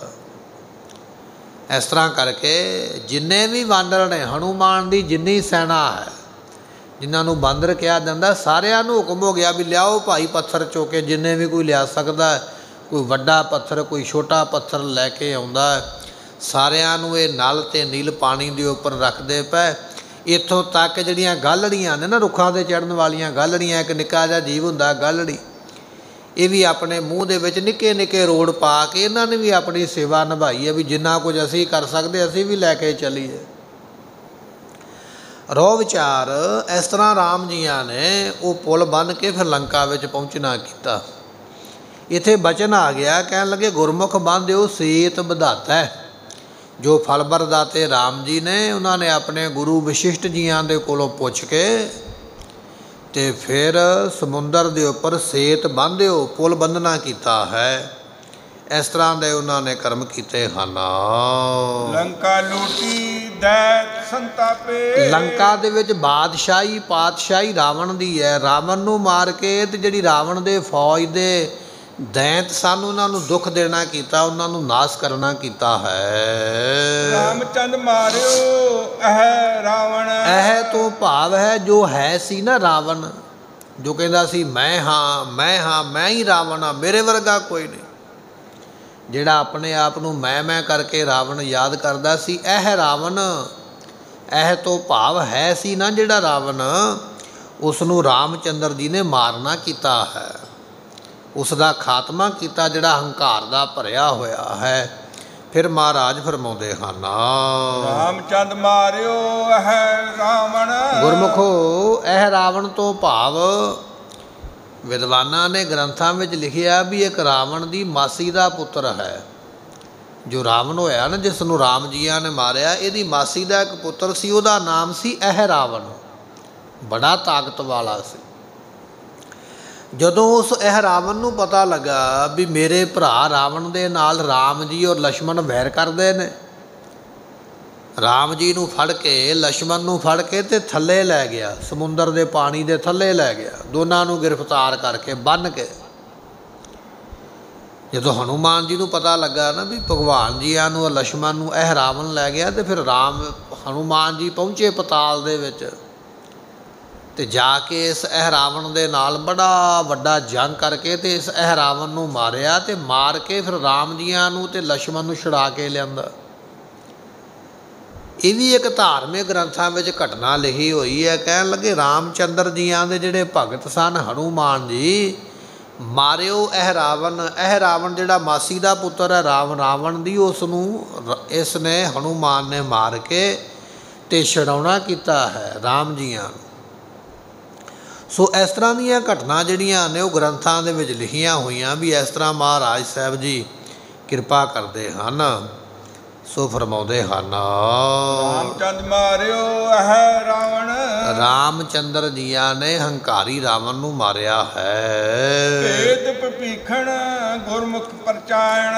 ਜਿਹੜੇ ਬਪੀਖਣ ਜੀ ਸਨ ਉਹ ਰਾਵਣ ਦੇ ਭਰਾ ਸਨ। ਜਦੋਂ ਰਾਵਣ ਨੇ ਸੀਤਾ ਨੂੰ ਅਗਵਾ ਕੀਤਾ, ਉਸ ਵੇਲੇ ਪੱਖ ਕੀਤਾ ਸੀ ਬਪੀਖਣ ਨੇ ਵੀ ਆਪਾਂ ਨੂੰ ਇਹ ਕੰਮ ਨਹੀਂ ਸੀ ਕਰਨਾ ਚਾਹੀਦਾ, ਆਪਾਂ ਗਲਤੀ ਕੀਤੀ ਹੈ। ਸੀਤਾ ਨੂੰ ਵਾਪਸ ਕਰਕੇ ਤੇ ਰਾਮ ਜੀਆਂ ਤੋਂ ਮਾਫੀ ਮੰਗ ਲਈਏ ਮਾਫੀ ਮੰਗਣ ਵਾਲਾ ਛੋਟਾ ਨਹੀਂ ਹੁੰਦਾ ਹੈ ਜਿਹਨੇ ਗਲਤੀ ਕੀਤੀ ਹੈ, ਮੰਗ ਲੈਣੀ ਚਾਹੀਦੀ ਹੈ। ਜਦੋਂ ਇਹ ਗੱਲ ਬਪੀਖਣ ਨੇ ਆਖੀ ਨਾ, ਉਸ ਵੇਲੇ ਰਾਵਣ ਨੇ ਹੰਕਾਰ ਵਿੱਚ ਆ ਕੇ ਆਪਣੇ ਭਰਾ ਬਪੀਖਣ ਨੂੰ ਲੱਤ ਮਾਰੀ ਲੱਤ ਮਾਰੀ ਤੇ ਥੱਲੇ ਸੁੱਟ ਦਿੱਤਾ ਕੁਰਸੀ ਤੋਂ। ਸਭਾ ਦੇ ਵਿੱਚ ਬੈਠਾ ਸੀ ਨਾ, ਸਾਰੇ ਵਜ਼ੀਰ ਬੈਠੇ ਤੇ ਉਹਨਾਂ ਵਜ਼ੀਰਾਂ ਵਿੱਚ ਬਪੀਖਣ ਵੀ ਬੈਠਾ। ਉਹ ਡਿੱਗਣ ਦੇ ਕਾਰਨ ਜਿਹੜੀ ਸਿਰ ਤੇ ਉਹਨੇ ਪੱਗ ਵਗੈਰਾ ਕੋਈ ਰੱਖੀ ਹੋਈ ਸੀ, ਉਹ ਡਿੱਗ ਪਈ ਤੇ ਉਹਨੂੰ ਬੜਾ ਹੀ ਗੁੱਸਾ ਆਇਆ। ਮਨ ਦੇ ਵਿੱਚ ਵੀ ਭਰੀ ਹੋਈ ਸਭਾ ਵਿੱਚ ਮੇਰੀ ਬੇਇੱਜ਼ਤੀ ਹੋਈ ਹੈ। ਇੱਕ ਤੇ ਕੰਮ ਗਲਤ ਕਰਦੇ, ਦੂਜਾ ਜੇ ਕੋਈ ਸਲਾਹ ਦਿੰਦਾ ਤੇ ਉਹਦਾ ਨਰਾਦਰ ਕਰਦੇ। ਉਸ ਵੇਲੇ ਭਪੀਖਣ ਜੀ ਰਾਮਚੰਦਰ ਜੀਆਂ ਦੇ ਕੋਲ ਜਾਣ ਦਾ ਵਿਚਾਰ ਬਣਾ ਲਿਆ।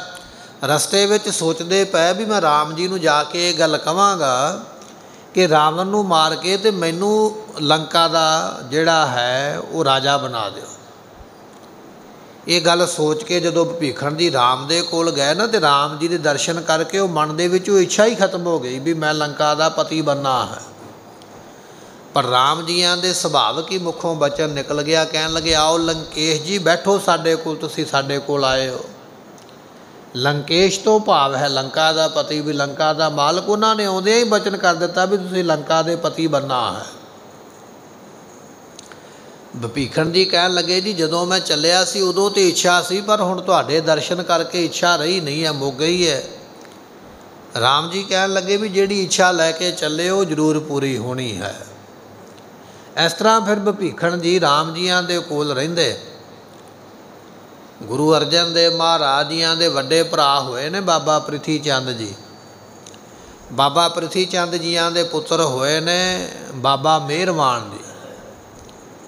ਮਿਹਰਵਾਨ ਜੀਆਂ ਨੇ ਇੱਕ ਗ੍ਰੰਥ ਲਿਖਿਆ ਹੈ, ਉਹਦੇ ਵਿੱਚ ਉਹਨਾਂ ਨੇ ਜ਼ਿਕਰ ਕੀਤਾ ਹੈ ਕਿ ਇਹ ਜਿਹੜਾ ਰਾਵਣ ਸੀ ਨਾ, ਇਹਦਾ 100 ਵਾਰੀ ਸਿਰ ਵੱਢਿਆ ਸੀ, ਰਾਮ ਜੀਆਂ ਨੇ ਆਪਣੇ ਤੀਰ ਦੇ ਨਾਲ। ਜਦੋਂ ਸਿਰ ਵੱਢਣਾ, ਉਹ ਫਿਰ ਜੁੜ ਜਾਣਾ। ਫਿਰ ਸਿਰ ਕੱਟਣਾ ਕਿਸੇ ਸ਼ਸਤਰ ਦੇ ਨਾਲ, ਦੁਬਾਰਾ ਫਿਰ ਜੁੜ ਜਾਣਾ। ਤੇ ਉਸ ਵੇਲੇ ਮਿਹਰਬਾਨ ਜੀ ਲਿਖਦੇ ਨੇ ਵੀ ਭੀਖਨ ਨੇ ਆਖਿਆ ਸੀ ਵੀ, ਰਾਮ ਜੀ, ਇਹਨੇ ਇਸ ਤਰ੍ਹਾਂ ਨਹੀਂ ਮਰਨਾ ਹੈ। ਤੁਸੀਂ 100 ਵਾਰੀ ਕੀ ਭਾਵੇਂ ਹਜ਼ਾਰ ਵਾਰੀ ਸਿਰ ਵੱਢ ਲਵੋ, ਇਹ ਮਰੇਗਾ ਨਹੀਂ। ਰਾਮ ਜੀ ਨੇ ਪੁੱਛਿਆ, ਕਾਰਨ ਕੀ ਹੈ? ਕਹਿਣ ਲੱਗੇ, ਇਹਦੀ ਧੁੰਨੀ ਦੇ ਵਿੱਚ ਅੰਮ੍ਰਿਤ ਕੁੰਡ ਹੈ। ਦੇਵਤਿਆਂ ਦੇ ਕੋਲੋਂ ਅੰਮ੍ਰਿਤ ਖੋ ਕੇ ਇਸ ਨੇ ਧੁੰਨੀ ਵਿੱਚ ਰੱਖਿਆ। ਜਿੰਨਾ ਚਿਰ ਉਹ ਧੁੰਨੀ ਵਿਚਲਾ ਅੰਮ੍ਰਿਤ ਸੁੱਕਦਾ ਨਹੀਂ ਖਤਮ ਨਹੀਂ ਹੁੰਦਾ ਉਹਨਾਂ ਚਿਰ ਰਾਵਣ ਨਹੀਂ ਮਰੇਗਾ। ਰਾਮ ਜੀਆਂ ਨੇ ਬਚਨ ਸੁਣ ਕੇ ਵਿਭੀਖਣ ਦਾ ਫਿਰ ਅਗਨੀ ਬਾਣ ਜਿਹੜਾ ਸੀ ਨਾ ਉਹ ਰਾਵਣ ਦੀ ਧੁੰਨੀ ਵਿੱਚ ਮਾਰਿਆ। ਉਹਦੇ ਅੰਮ੍ਰਿਤ ਨੂੰ ਸੁਕਾਇਆ ਤੇ ਇਸ ਤਰ੍ਹਾਂ ਰਾਵਣ ਮਰਿਆ। ਮਹਾਰਾਜ ਫਰਮਾਉਂਦੇ ਹਨ ਏਤ ਬਵੀਖਣ ਗੁਰਮੁਖ ਪਰਚਾਇਣ। ਕਹਿਣ ਲੱਗੇ ਜਿਹੜੇ ਗੁਰਮੁਖ ਵਿਭੀਖਣ ਸਨ ਉਹਨਾਂ ਨੇ ਭੇਦ ਦਿੱਤਾ ਹੈ। ਰਾਮ ਜੀਆਂ ਨੂੰ ਵੀ ਸਿਰ ਵੱਢਿਆ ਨਹੀਂ, ਧੁੰਨੀ ਵਿੱਚ ਤੀਰ ਮਾਰੋਗੇ ਤੇ ਇਸ ਨੇ ਮਰਨਾ। ਇਹ ਜਦੋਂ ਭੇਦ ਦਿੱਤਾ ਨਾ, ਤੇ ਫਿਰ ਉਸ ਵੇਲੇ ਰਾਵਣ ਮਾਰਿਆ ਗਿਆ ਤੇ ਮਹਾਰਾਜ ਕਹਿਣ ਲੱਗੇ, ਗੁਰਮੁਖ ਪਰਚਾਇਨ। ਇਸ ਭੇਦ ਦੇ ਪਰਚੇ ਦੁਆਰਾ ਗੁਰਮੁਖ ਰਾਮਚੰਦਰ ਜੀਆਂ ਨੇ ਫਿਰ ਨਾਭੀ ਵਿੱਚ ਤੀਰ ਧੁੰਨੀ ਵਿੱਚ ਮਾਰ ਕੇ ਰਾਵਣ ਨੂੰ ਮਾਰਿਆ ਹੈ। ਗੁਰਮੁਖ ਸਾਇਰ ਪਹਾਨ ਤਾਰੇ। ਗੁਰਮੁਖ ਜਿਹੜੇ ਨੇ ਉਹ ਨੇ ਰਾਮਚੰਦਰ ਜੀ ਰਾਮਚੰਦਰ ਜੀ ਨੂੰ ਗੁਰਮੁਖ ਤਾਂ ਆਖਿਆ ਕਿਉਂਕਿ ਰਾਮਚੰਦਰ ਜੀਆਂ ਦੇ ਪਿਤਾ ਜੀ ਦਾ ਨਾਮ ਦਸ਼ਰਤ ਰਾਜਾ ਹੈ। ਦਸ਼ਰਤ ਰਾਜੇ ਨੇ ਇੱਕ ਵਾਰੀ ਆਖਿਆ ਸੀ ਪੁੱਤਰ ਮੈਂ ਆਪਣਾ ਬਚਨ ਪੂਰਾ ਕਰਨਾ ਹੈ ਤੈਨੂੰ 14 ਸਾਲ ਬਨਵਾਸ ਵਿੱਚ ਜਾਣਾ ਪਵੇਗਾ। ਇੱਕੇ ਵਾਰੀ ਬਚਨ ਸੁਣ ਕੇ ਭਾਵੇਂ ਬਾਕੀ ਪਰਿਵਾਰ ਦੇ ਮੈਂਬਰਾਂ ਨੇ ਬੜਾ ਜ਼ੋਰ ਲਾਇਆ ਵੀ ਨਹੀਂ, ਇਸ ਤਰ੍ਹਾਂ ਨਹੀਂ ਹੋਣਾ ਚਾਹੀਦਾ। ਰਾਮਚੰਦਰ ਜੀ ਉਸੇ ਵੇਲੇ ਹੀ ਚੱਲ ਪਿਆ ਵੀ ਨਹੀਂ, ਸਾਡੇ ਪਿਤਾ ਦਾ ਹੁਕਮ ਹੈ, ਮੰਨਣਾ ਹੈ। ਆਪਣੀ ਪਿਤਾ ਦੀ ਆਗਿਆ ਮੰਨਣ ਕਰਕੇ ਉਹਨਾਂ ਨੂੰ ਗੁਰਮੁਖ ਲਿਖਿਆ ਹੈ। ਵੀ ਪਿਤਾ ਦਾ ਕਹਿਣਾ ਮੰਨ ਕੇ ਨਹੀਂ ਤੇ ਰਾਜਾ ਹੋਵੇ, ਰਾਜੇ ਦਾ ਪੁੱਤਰ ਹੋਵੇ ਤੇ ਆਉਣ ਵਾਲੇ ਸਮੇਂ ਵਿੱਚ ਰਾਜਾ ਵੀ ਬੰਨਾ ਹੋਵੇ, ਉਹਨੂੰ ਕਿਹਾ ਜਾਵੇ ਵੀ ਜਾ ਜਾ ਕੇ ਜੰਗਲ ਦੇ ਵਿੱਚ ਦੁੱਖ ਭੋਗ ਤੇ ਕੌਣ ਮੰਨੇਗਾ ਜਾਣ ਵਾਸਤੇ?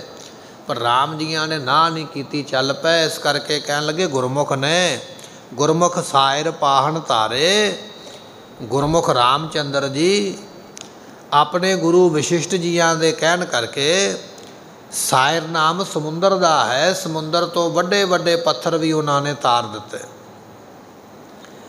ਭਾਈ ਸੰਤੋਖ ਸਿੰਘ ਜੀ ਬਚਨ ਲਿਖਦੇ ਕਹਿਣ ਲੱਗੇ, ਸਰਵਰ ਪਰ ਗਿਰਵਰ ਤਰ ਭਾਰੇ, ਤਰਵਰ ਕੇ ਪਾਤਨ ਸਮਤਾਰੇ ਭਾਈ ਸੰਤੋਖ ਸਿੰਘ ਜੀ ਆਣੇ ਦਸਾਂ ਗੁਰੂਆਂ ਦਾ ਇਤਿਹਾਸ ਲਿਖਿਆ ਨਾ, ਚੂੜਾਮਣੀ।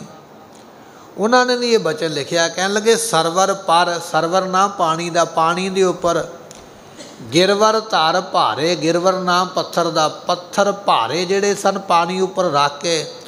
ਤਰਵਰ ਕੇ ਪਾਤਨ ਸਮ ਤਾਰੇ ਤਰਵਰ ਨਾਮ ਰੁੱਖ ਦਾ ਹੈ, ਵੀ ਜਿਵੇਂ ਰੁੱਖ ਦਾ ਪੱਤਾ ਪਾਣੀ ਤੇ ਡਿੱਗ ਪਵੇ ਕਿ ਉਹ ਡੁੱਬਦਾ ਨਹੀਂ, ਤਰ ਜਾਂਦਾ ਇਸ ਤਰ੍ਹਾਂ ਰਾਮ ਜੀਆਂ ਨੇ ਜਿਹੜੇ ਹਨ ਉਹ ਪੱਥਰ ਪਾਣੀ ਤੋਂ ਤਾਰ ਦਿੱਤੇ ਸਨ ਐਸੀ ਉਹਨਾਂ ਦੇ ਵਿੱਚ ਬਖਸ਼ਿਸ਼ ਹੈ। ਸਰਵਰ ਪਰ ਗਿਰ ਧਰ ਕਰ ਭਾਰੇ ਤਰਵਰ ਕੇ ਪਾਤਨ ਸਭ ਤਾਰੇ ਐਸੀ ਉਹਨਾਂ ਨੇ ਕਿਰਪਾ ਕੀਤੀ ਹੈ। ਗੁਰਮੁਖ ਕੋਟ 33 ਉਧਾਰੇ। ਤੇ ਫਿਰ ਰਾਮਚੰਦਰ ਜੀਆਂ ਨੇ ਜਦੋਂ ਰਾਵਣ ਨੂੰ ਮਾਰਿਆ ਰਾਵਣ ਦੀ ਜੇਲ੍ਹ ਦੇ ਵਿੱਚੋਂ 33 ਕਰੋੜ ਦੇਵੀ ਦੇਵਤੇ ਜਿਹੜੇ ਬੰਦੀ ਬਣਾ ਕੇ ਰੱਖੇ ਸਨ। ਜਿਵੇਂ ਜਹਾਂਗੀਰ ਬਾਦਸ਼ਾਹ ਨੇ ਗਵਾਲੀਅਰ ਦੇ ਕਿਲੇ ਵਿੱਚ ਰਾਜੇ ਬੰਨ ਕੇ ਰੱਖੇ ਸਨ, ਜਿਨ੍ਹਾਂ ਦੀ 52 ਗਿਣਤੀ ਹੈ। ਵਿਦਵਾਨਾਂ ਨੇ 7000 ਦਾ ਕਥਨ ਕੀਤਾ ਵੀ 52 ਤੇ ਇਕੱਲੇ ਰਾਜੇ ਨੇ 7000 ਉਹ ਇਨਕਲਾਬੀ ਲੋਕ ਸਨ, ਜਿਹੜੇ ਬਾਦਸ਼ਾਹ ਦੇ ਹੁਕਮਾਂ ਤੋਂ, ਉਹਦੇ ਕਾਨੂੰਨਾਂ ਤੋਂ ਸਹਿਮਤ ਨਹੀਂ ਸਨ, ਬਗਾਵਤ ਕਰਦੇ ਸਨ ਹੱਕ ਲੈਣ ਵਾਸਤੇ। ਜਿਹੜਾ ਜਿਹੜਾ ਵੀ ਬਾਦਸ਼ਾਹ ਦੇ ਉੱਪਰ ਸਿਰ ਚੁੱਕਦਾ, ਉਹਨਾਂ ਨੂੰ ਗਵਾਲੀਅਰ ਦੇ ਕਿਲੇ ਵਿੱਚ ਸੁੱਟਿਆ ਜਾਂਦਾ ਵੀ ਬੈਠਾ ਰਹੋ, ਇੱਥੇ ਮਰਦਾ ਰਹੋ। ਜਦੋਂ ਧੰਨ ਗੁਰੂ ਹਰਗੋਬਿੰਦ ਪਾਤਸ਼ਾਹ ਨੇ ਉਹ 52 ਰਾਜੇ ਛੜਾਏ ਤੇ ਉਹ ਨਾਲ ਉਹ ਜਿਹੜੇ 7000 ਹੋਰ ਵੀ ਇਨਕਲਾਬੀ ਯੋਧੇ ਫੜੇ ਹੋਏ ਨਾ ਬਾਦਸ਼ਾਹ ਦੀ ਈਨ ਨਾ ਮੰਨਣ ਵਾਲੇ, ਉਹ ਵੀ ਮਹਾਰਾਜ ਨੇ ਛੜਾਏ ਬਾਦਸ਼ਾਹ ਦੇ ਕੋਲੋਂ ਸਾਰਿਆਂ ਦੀ ਮਾਫੀ ਦਵਾਈ ਤੇ ਸਾਰੇ ਹੀ ਆਪੋ ਆਪਣੇ ਇਲਾਕਿਆਂ ਵਿੱਚ ਜਾ ਕੇ ਉਹਨਾਂ ਨੇ ਗੁਰੂ ਹਰਗੋਬਿੰਦ ਮਹਾਰਾਜ ਦਾ ਜਸ ਕਰਦਿਆਂ ਹੋਇਆਂ ਘਿਓ ਦੇ ਦੀਵੇ ਜਗਾ ਕੇ ਮਹਾਰਾਜ ਦੀ ਵਡਿਆਈ ਕੀਤੀ ਹੈ। ਤਾਂ ਪੂਰੇ ਹਿੰਦੁਸਤਾਨ ਦੇ ਵਿੱਚ ਦੀਵਾਲੀ ਦਾ ਤਿਉਹਾਰ ਮਨਾਇਆ ਜਾਂਦਾ ਹੈ, ਕਿਉਂਕਿ ਇੰਨੀ ਗਿਣਤੀ ਦੇ ਲੋਕ ਪੂਰੇ ਹਿੰਦੁਸਤਾਨ ਦੇ ਵੱਖਰੇ ਵੱਖਰੇ ਇਲਾਕਿਆਂ ਚੋਂ ਬੰਨ ਕੇ ਬਾਦਸ਼ਾਹ ਜਹਾਂਗੀਰ ਨੇ ਰੱਖੇ ਸਨ ਗਵਾਲੀਅਰ ਦੇ ਕਿਲੇ ਵਿੱਚ। ਰਾਮਚੰਦਰ ਜੀ ਤੇ ਕੇਵਲ ਅਯੁੱਧਿਆ ਦੇ ਰਾਜੇ ਸਨ, ਜੇ ਜਿੱਤ ਕੇ ਅਯੁੱਧਿਆ ਚਲੇ ਗਏ ਤੇ ਮੰਨ ਲਓ ਵੀ ਅਯੁੱਧਿਆ ਦੇ ਲੋਕਾਂ ਨੇ ਦੀਪਮਾਲਾ ਕੀਤੀ ਹੈ, ਪਰ ਜੇ ਪੂਰਾ ਹਿੰਦੁਸਤਾਨ ਕਰਦਾ ਪਿਆ ਤੇ ਉਹਦਾ ਕਾਰਨ ਇਹ ਆ ਵੀ ਗਵਾਲੀਅਰ ਦੇ ਕਿਲੇ ਵਿੱਚੋਂ ਮਹਾਰਾਜ ਨੇ ਇੰਨੇ ਕੈਦੀ ਛਡਾਏ ਜਿਹੜੇ ਵੱਖ-ਵੱਖ ਇਲਾਕਿਆਂ ਦੇ ਸਨ ਤੇ ਉਹਨਾਂ ਨੇ ਆਪੋ ਆਪਣੇ ਇਲਾਕਿਆਂ ਵਿੱਚ ਜਾ ਕੇ ਖੁਸ਼ੀ ਮਨਾਈ ਹੈ। ਤੇ ਗੁਰੂ ਹਰਗੋਬਿੰਦ ਮਹਾਰਾਜ ਸਾਹਿਬ ਜੀਆਂ ਦਾ ਬੰਦੀ ਛੋੜ ਜਿਹੜਾ ਦਿਵਸ ਹੈ ਨਾ, ਤਾਂ ਮਨਾਇਆ ਜਾਂਦਾ ਸਾਰੇ ਹਿੰਦੁਸਤਾਨ ਦੇ ਵਿੱਚ। ਇੱਕ ਵਾਰੀ ਆਖੀਏ, ਸਤਨਾਮ। ਸਤਗੁਰਾਂ ਨੂੰ ਤਾਂ ਬੰਦੀ ਛੋੜ ਲਿਖਿਆ 52 ਦੀ ਗੱਲ ਤੇ ਤਾਂ ਜ਼ਿਆਦਾ ਮਸ਼ਹੂਰ ਹੈ ਵੀ 52 ਤੇ ਵੱਡੇ ਰਾਜੇ ਸਨ ਜਿਹੜੇ ਛੜਾਏ ਉਹਨਾਂ ਤੋਂ ਛੋਟ ਹੋਰ ਵੀ ਮਹਾਰਾਜ ਨੇ ਐਸੇ ਇਨਕਲਾਬ ਲਿਆਉਣ ਵਾਲੇ, ਬਾਦਸ਼ਾਹ ਦੇ ਖਿਲਾਫ ਆਵਾਜ਼ ਚੁੱਕਣ ਵਾਲੇ ਬੰਨੇ ਹੋਏ, ਉਹ ਵੀ ਮਹਾਰਾਜ ਨੇ ਛੜਾ ਦਿੱਤੇ। ਸੋ ਵਿਚਾਰ ਇਹ ਹੈ, ਗੁਰਮੁਖ ਕੋਟ 33 ਉਧਾਰੇ। ਗੁਰਮੁਖ ਨੇ ਰਾਮਚੰਦਰ ਜੀ ਕਹਿਣ ਲੱਗੇ, ਉਹਨਾਂ ਨੇ 33 ਕਰੋੜ ਦੇਵਤੇ ਜਿਹੜੇ ਰਾਵਣ ਨੇ ਬੰਨ ਕੇ ਰੱਖੇ ਸਨ, ਆਪਣੀ ਜੇਲ੍ਹ ਦੇ ਵਿੱਚ ਆਪਾਂ ਬਚਨ ਪੜ੍ਹਦੇ ਆ ਨਾ ਜਦੋਂ ਸਤਿਗੁਰਾਂ ਦੀ ਬਾਣੀ ਪੜ੍ਹਦੇ ਆ ਤੇ ਉਹਦੇ ਵਿੱਚ ਬਚਨ ਆਉਂਦਾ ਨਾ, ਚੰਦ ਸੂਰਜ ਜਾ ਕੇ ਤਪਤ ਰਸੋਈ ਤੇ ਬਸੰਤਰ ਜਾ ਕੇ ਕਪਰੇ ਧੋਈ। ਇਹ ਉਹਨੇ ਆਪਣੇ ਗੁਲਾਮ ਬਣਾ ਕੇ ਰੱਖੇ ਸਨ ਨੌਕਰ, ਵੀ ਤੁਸੀਂ ਨੌਕਰੀ ਕਰਨੀ ਹੈ, ਜਿਵੇਂ ਝਾੜੂ ਪੋਚਾ ਕਰਨਾ, ਪ੍ਰਸ਼ਾਦਾ ਆਪਾਂ ਘਰ ਦੇ ਵਿੱਚ ਨੌਕਰ ਲਾ ਲੈਨੇ ਆ ਵੱਡੇ ਵੱਡੇ ਦੇਵਤੇ ਰਾਵਣ ਨੇ ਨੌਕਰ ਬਣਾ ਛੱਡੇ, ਗੁਲਾਮ ਬਣਾ ਕੇ ਕੈਦ ਵਿੱਚ ਪਾ ਕੇ ਰੱਖੇ ਉਹਨਾਂ ਨੂੰ ਹੁਕਮ ਮੰਨਣਾ ਪੈਂਦਾ। ਰਾਮ ਜੀਆਂ ਨੇ ਉਹ ਸਾਰੇ ਜਾ ਕੇ ਰਾਵਣ ਨੂੰ ਮਾਰ ਕੇ ਤੇ ਉਹਦੀ ਜੇਲ੍ਹ ਵਿੱਚੋਂ ਰਿਹਾ ਕੀਤੇ। ਗੁਰਮੁਖ ਕੋਟ 33 ਉਧਾਰੇ। 33 ਕਰੋੜ ਦੇਵਤਾ ਜਿਹੜਾ ਗੁਲਾਮ ਬਣਾ ਕੇ ਰੱਖਿਆ, ਰਾਵਣ ਬੜਾ ਸ਼ਕਤੀਸ਼ਾਲੀ ਹੈ। ਉਸ ਨੂੰ ਮਾਰ ਕੇ ਤੇ ਉਹਨਾਂ ਦਾ ਉਧਾਰ ਕੀਤਾ ਹੈ। ਇਸੇ ਸ਼ਬਦ ਨੂੰ ਇਸੇ ਪੌੜੀ ਨੂੰ ਮਹਾਰਾਜ ਫਿਰ ਫਰਮਾਉਂਦੇ ਹਨ। ਗੁਰਮੁਖ ਬਾਂਧਿਓ ਸੇਤ ਵਿਧਾਤੇ ਹੁਣ ਇਸ ਪੌੜੀ ਦਾ ਆਪਾਂ ਦੂਜਾ ਅਰਥ ਸਰਵਨ ਕਰਾਂਗੇ। ਕਹਿਣ ਲੱਗੇ ਗੁਰਮੁਖਾਂ ਨੇ ਸੰਸਾਰ ਸਮੁੰਦਰ ਤੋਂ ਰੱਬ ਦੇ ਨਾਮ ਦਾ ਪੁਲ ਬੰਨਿਆ ਹੈ। ਤੇ ਗੁਰਮੁਖੋ ਪੁਲ ਬਣਾ ਦਈਏ ਨਾ ਪੁਲ ਦੇ ਉੱਪਰ ਦੀ ਬੁੱਢਾ ਵੀ ਲੰਘ ਜਾਂਦਾ ਜਵਾਨ ਵੀ ਲੰਘ ਜਾਂਦਾ ਬੱਚਾ ਵੀ ਲੰਘ ਜਾਂਦਾ ਔਰਤਾਂ ਵੀ ਪੁਲ ਦੇ ਉੱਪਰ ਦੀ ਲੰਘ ਕੇ ਪਾਰ ਪਹੁੰਚ ਜਾਂਦੀਆਂ। ਕਹਿਣ ਲੱਗੇ, ਗੁਰਮੁਖਾਂ ਨੇ RAM ਦੇ ਨਾਮ ਦਾ ਪੁਲ ਬਣਾਇਆ ਹੈ। RAM ਦੇ ਨਾਮ ਨੂੰ ਬਜ਼ੁਰਗ ਵੀ ਜਪਦਾ ਪਿਆ, ਜਵਾਨ ਵੀ ਜਪਦਾ ਪਿਆ, ਇਸਤਰੀ ਮਰਦ ਸਾਰੇ ਹੀ ਜਪਦੇ ਪਏ। ਇਸ ਤਰ੍ਹਾਂ ਦਾ ਪੁਲ RAM ਦੇ ਨਾਮ ਦਾ ਜਾਂ ਗੁਰਮੁਖਾਂ ਦੀ ਸੰਗਤ ਰੂਪੀ ਪੁਲ ਬਣਾਇਆ ਹੈ। ਗੁਰੂ ਅਰਜਨ ਦੇਵ ਪਾਤਸ਼ਾਹ ਕਹਿਣ ਲੱਗੇ ਮੰਜ ਪਿਆਰਾ ਗੁਰੂ ਨੂੰ, ਗੁਰ ਮੰਜ ਪਿਆਰਾ। ਮੰਜ ਗੁਰੂ ਕਾ ਬੋਏ ਥਾ ਜਗ। ਲੰਗਨ ਹਾਰਾ ਐਸੇ ਜਹਾਜ਼ ਆਪਣੇ ਸਿੱਖਾਂ ਨੂੰ ਮਹਾਰਾਜ ਨੇ ਬਣਾ ਦਿੱਤਾ। ਤੇ ਭਾਈ ਲਖੀਆ ਨਾਮ ਦਾ ਸਿੱਖ ਹੈ ਨਾ, ਉਹਨੇ ਤੇ ਬਚਨ ਹੀ ਇਹ ਕੀਤਾ ਸੀ, ਪ੍ਰਸ਼ਾਦਾ ਹੀ ਉਹਦੇ ਕੋਲੋਂ ਛਕਾਂਗਾ, ਜਿਹੜਾ ਜਪਜੀ ਸਾਹਿਬ ਦਾ ਪਾਠ ਜ਼ੁਬਾਨੀ ਸੁਣਾਵੇ। ਇਹ ਗੁਰਮੁਖਾਂ ਦਾ ਜੀਵਨ ਪੁਲ ਵਰਗਾ ਹੈ ਕਿ ਜਿਹੜਾ ਜਪਜੀ ਸਾਹਿਬ ਦਾ ਪਾਠ ਜ਼ੁਬਾਨੀ ਕਰੇਗਾ, ਬਾਣੀ ਪੜ੍ਹਦਿਆਂ ਪੜ੍ਹਦਿਆਂ ਉਹਦਾ ਵੀ ਭਲਾ ਹੋਵੇਗਾ। ਮੈਨੂੰ ਪ੍ਰਸ਼ਾਦਾ ਛਕਾਉਣ ਦੇ ਬਹਾਨੇ ਦੂਜੇ ਦਾ ਭਲਾ ਹੋਵੇ, ਇਹ ਗੁਰਮੁਖਾਂ ਦੀ ਅਵਸਥਾ ਹੈ। ਮੰਨੈ ਤਰੈ ਤਾਰੇ ਗੁਰਸਿੱਖ ਗੁਰੂ ਦੇ ਸਿੱਖ ਦੀ ਇਹ ਕਮਾਈ ਹੈ। ਕਿ ਗੁਰੂ ਕਾ ਸਿੱਖ ਆਪ ਤੇ ਨਾਮ ਜਪਦਾ ਹੀ ਹੈ। ਦੂਜੇ ਨੂੰ ਵੀ ਨਾਮ ਜਪਾਉਂਦਾ ਭਾਈ ਮੰਝ ਜੀ ਵਾਂਗ, ਭਾਈ ਲਖੀਆ ਜੀ ਦੇ ਵਾਂਗ ਗੁਰਮੁਖ ਬੰਦਿਓ ਸੇਤ ਵਧਾਤਾ ਜਿਹੜੇ ਗੁਰਮੁਖ ਨੇ ਉਹਨਾਂ ਨੇ ਸੰਸਾਰ ਸਮੁੰਦਰ ਤੋਂ ਪਾਰ ਹੋਣ ਵਾਸਤੇ ਫਲਬਰ ਦਾਤਾ ਜੋ ਪਰਮੇਸ਼ਰ ਹੈ ਉਹਦੇ ਨਾਮ ਦਾ ਪੁਲ ਗੁਰਮੁਖਾਂ ਨੇ ਬੰਨਿਆ ਹੈ। ਲੰਕਾ ਲੂਟੀ ਦੈਤ ਸੰਤਾਪੇ। ਦੇ ਅਧਿਆਸ ਰੂਪੀ ਲੰਕਾ ਨੂੰ ਲੁੱਟ ਲਿਆ ਹੈ ਤੇ ਜਿਹੜੇ ਦੈਂਤ ਨੇ ਨਾ ਕਾਮ ਕ੍ਰੋਧ ਲੋਭ ਮੋਹ ਹੰਕਾਰ ਗੁਰਮੁਖਾਂ ਨੇ ਨਾਮ ਜਪ ਕੇ ਉਹਨਾਂ ਨੂੰ ਸੋ ਕਹਿ ਲਈਏ ਸੰਤਾਪਨਾ ਕੀਤਾ ਦੁੱਖ ਦੇਣਾ ਕੀਤਾ ਹੈ। ਵਿਕਾਰ ਵੀ ਉਹਨਾਂ ਦੇ ਨੇੜੇ ਨਹੀਂ ਆਉਂਦੇ। ਐਸੀ ਗੁਰਮੁਖਾਂ ਦੀ ਅਵਸਥਾ ਹੈ। ਰਾਮਚੰਦ ਮਾਰਿਓ ਇਹ ਰਾਵਣ। ਜਿਵੇਂ ਚੰ드ਰਮਾ ਸੀਤਲ ਮੰਨਿਆ ਜਾਂਦਾ ਹੈ ਐਸੇ ਤਰ੍ਹਾਂ ਕਹਿਣ ਲੱਗੇ ਜੋ ਪ੍ਰਮਾਤਮਾ ਦਾ ਨਾਮ ਹੈ ਨਾ ਭਾਈ ਉਹ ਵੀ ਸੀਤਲ ਹੈ। ਸੋ ਜਿਨ੍ਹਾਂ ਨੇ ਉਹ ਨਾਮ ਜਪਿਆ ਹੈ ਮਾਰਿਓ ਇਹ ਰਾਵਣ ਹੰਕਾਰ ਰੂਪੀ ਰਾਵਣ ਉਹਨਾਂ ਨੇ ਮਾਰ ਲਿਆ ਹੈ। ਆਪਾਂ ਬਚਨ ਪੜ੍ਹਦੇ ਆ ਮੂਲ ਨਾ ਮਿਟਈ ਕਾਮ ਸੀਤਲ ਥੀਵੋ ਨਾਨਕਾ ਜਪੰਦੜੋ ਹਰਨਾਮ। ਸੋ ਚੰਦਨ ਚੰਦਨ ਸਰਦ ਰੁੱਤ, ਮੂਲ ਨਾ ਮਿਟਈ ਕਾਮ ਸੀਵਲ, ਸੀਤਲ ਥੀਵੈ ਨਾਨਕਾ ਜਪੰਦੜੋ ਹਰਨਾਮ ਬਾਣੀ ਦਾ ਬਚਨ ਹੈ। ਪਾਤਸ਼ਾਹ ਕਹਿਣ ਲੱਗੇ, ਗੁਰਮੁਖਾਂ ਨੇ, ਸੋ ਜਿਹੜਾ RAM ਦਾ ਨਾਮ ਪਰਮੇਸ਼ਰ ਦਾ ਜਪਿਆ ਹੈ, ਪਰਮੇਸ਼ਰ ਦਾ ਨਾਮ ਚੰ드ਰਮਾ ਦੇ ਵਾਂਗ ਠੰਡ ਦੇਣ ਵਾਲਾ ਸੀਤਲ ਹੈ।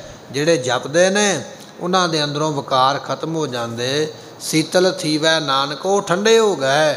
ਨਾਮ ਨੂੰ ਜਪ ਕੇ ਮਾਰਿਓ ਇਹ ਰਾਵਣ। ਹੰਕਾਰ ਰੂਪੀ ਰਾਵਣ ਜਾਂ ਵਕਾਰਾਂ ਰੂਪੀ ਉਹਨਾਂ ਨੇ ਰਾਵਣਾ ਨੂੰ ਬਾਹਰ ਲੈਣਾ ਕੀਤਾ ਹੈ। ਭੇਦ ਭਵੀਖਣ ਗੁਰਮੁਖ ਪਰਚਾਇਣ। ਮਹਾਰਾਜ ਕਹਿਣ ਲੱਗੇ ਗੁਰਮੁਖ ਰੂਪੀ ਵਿਭੀਸ਼ਣਾ ਨੇ ਭੇਦ ਦੇ ਪਰਚੇ ਦੁਆਰਾ ਭਾਵ ਜਿਸ ਵੇਲੇ ਗੁਰਮੁਖਾਂ ਨੇ ਨਾਮ ਜਪਣ ਦਾ ਭੇਦ ਦੱਸਿਆ। ਨਾਮ ਜਪਣ ਦਾ ਵੀ ਤੇ ਇੱਕ ਤਰੀਕਾ ਹੈ ਨਾ ਸਾਰਿਆਂ ਕੋਲੋਂ ਨਹੀਂ ਨਾ ਨਾਮ ਜਪਿਆ ਜਾਂਦਾ। ਭੇਦ ਕੀ ਹੈ?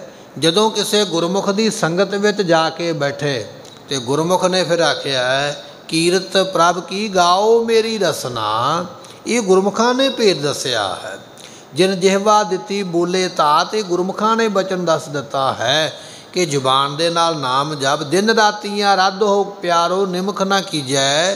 ਢੀਲਾ ਇਹ ਬਾਣੀ ਦੇ ਬਚਨ।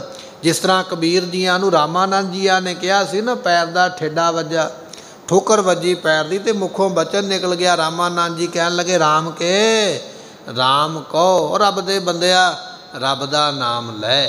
ਇਹ ਹੈ ਭੇਦ, ਗੁਰਮੁਖ ਇਸ ਭੇਦ ਨੂੰ ਦਿੰਦੇ ਨੇ। ਮਹਾਰਾਜ ਕਹਿਣ ਲੱਗੇ, ਭੇਦ ਭੀਖਣ ਗੁਰਮੁਖ ਪਰਚਾਇਨ। ਜਿਹੜੇ ਗੁਰਮੁਖ ਨੇ, ਉਹ ਸ਼ਰਨ ਵਿੱਚ ਆਇਆ ਨੂੰ ਰੱਬ ਦੇ ਨਾਮ ਦੇ ਜਪਣ ਦਾ ਭੇਦ ਕਹੀਏ, ਤਰੀਕਾ। ਦੱਸ ਦਿੰਦੇ ਵੀ ਕਿਸ ਤਰੀਕੇ ਦੇ ਨਾਲ ਨਾਮ ਜਪਣਾ ਹੈ।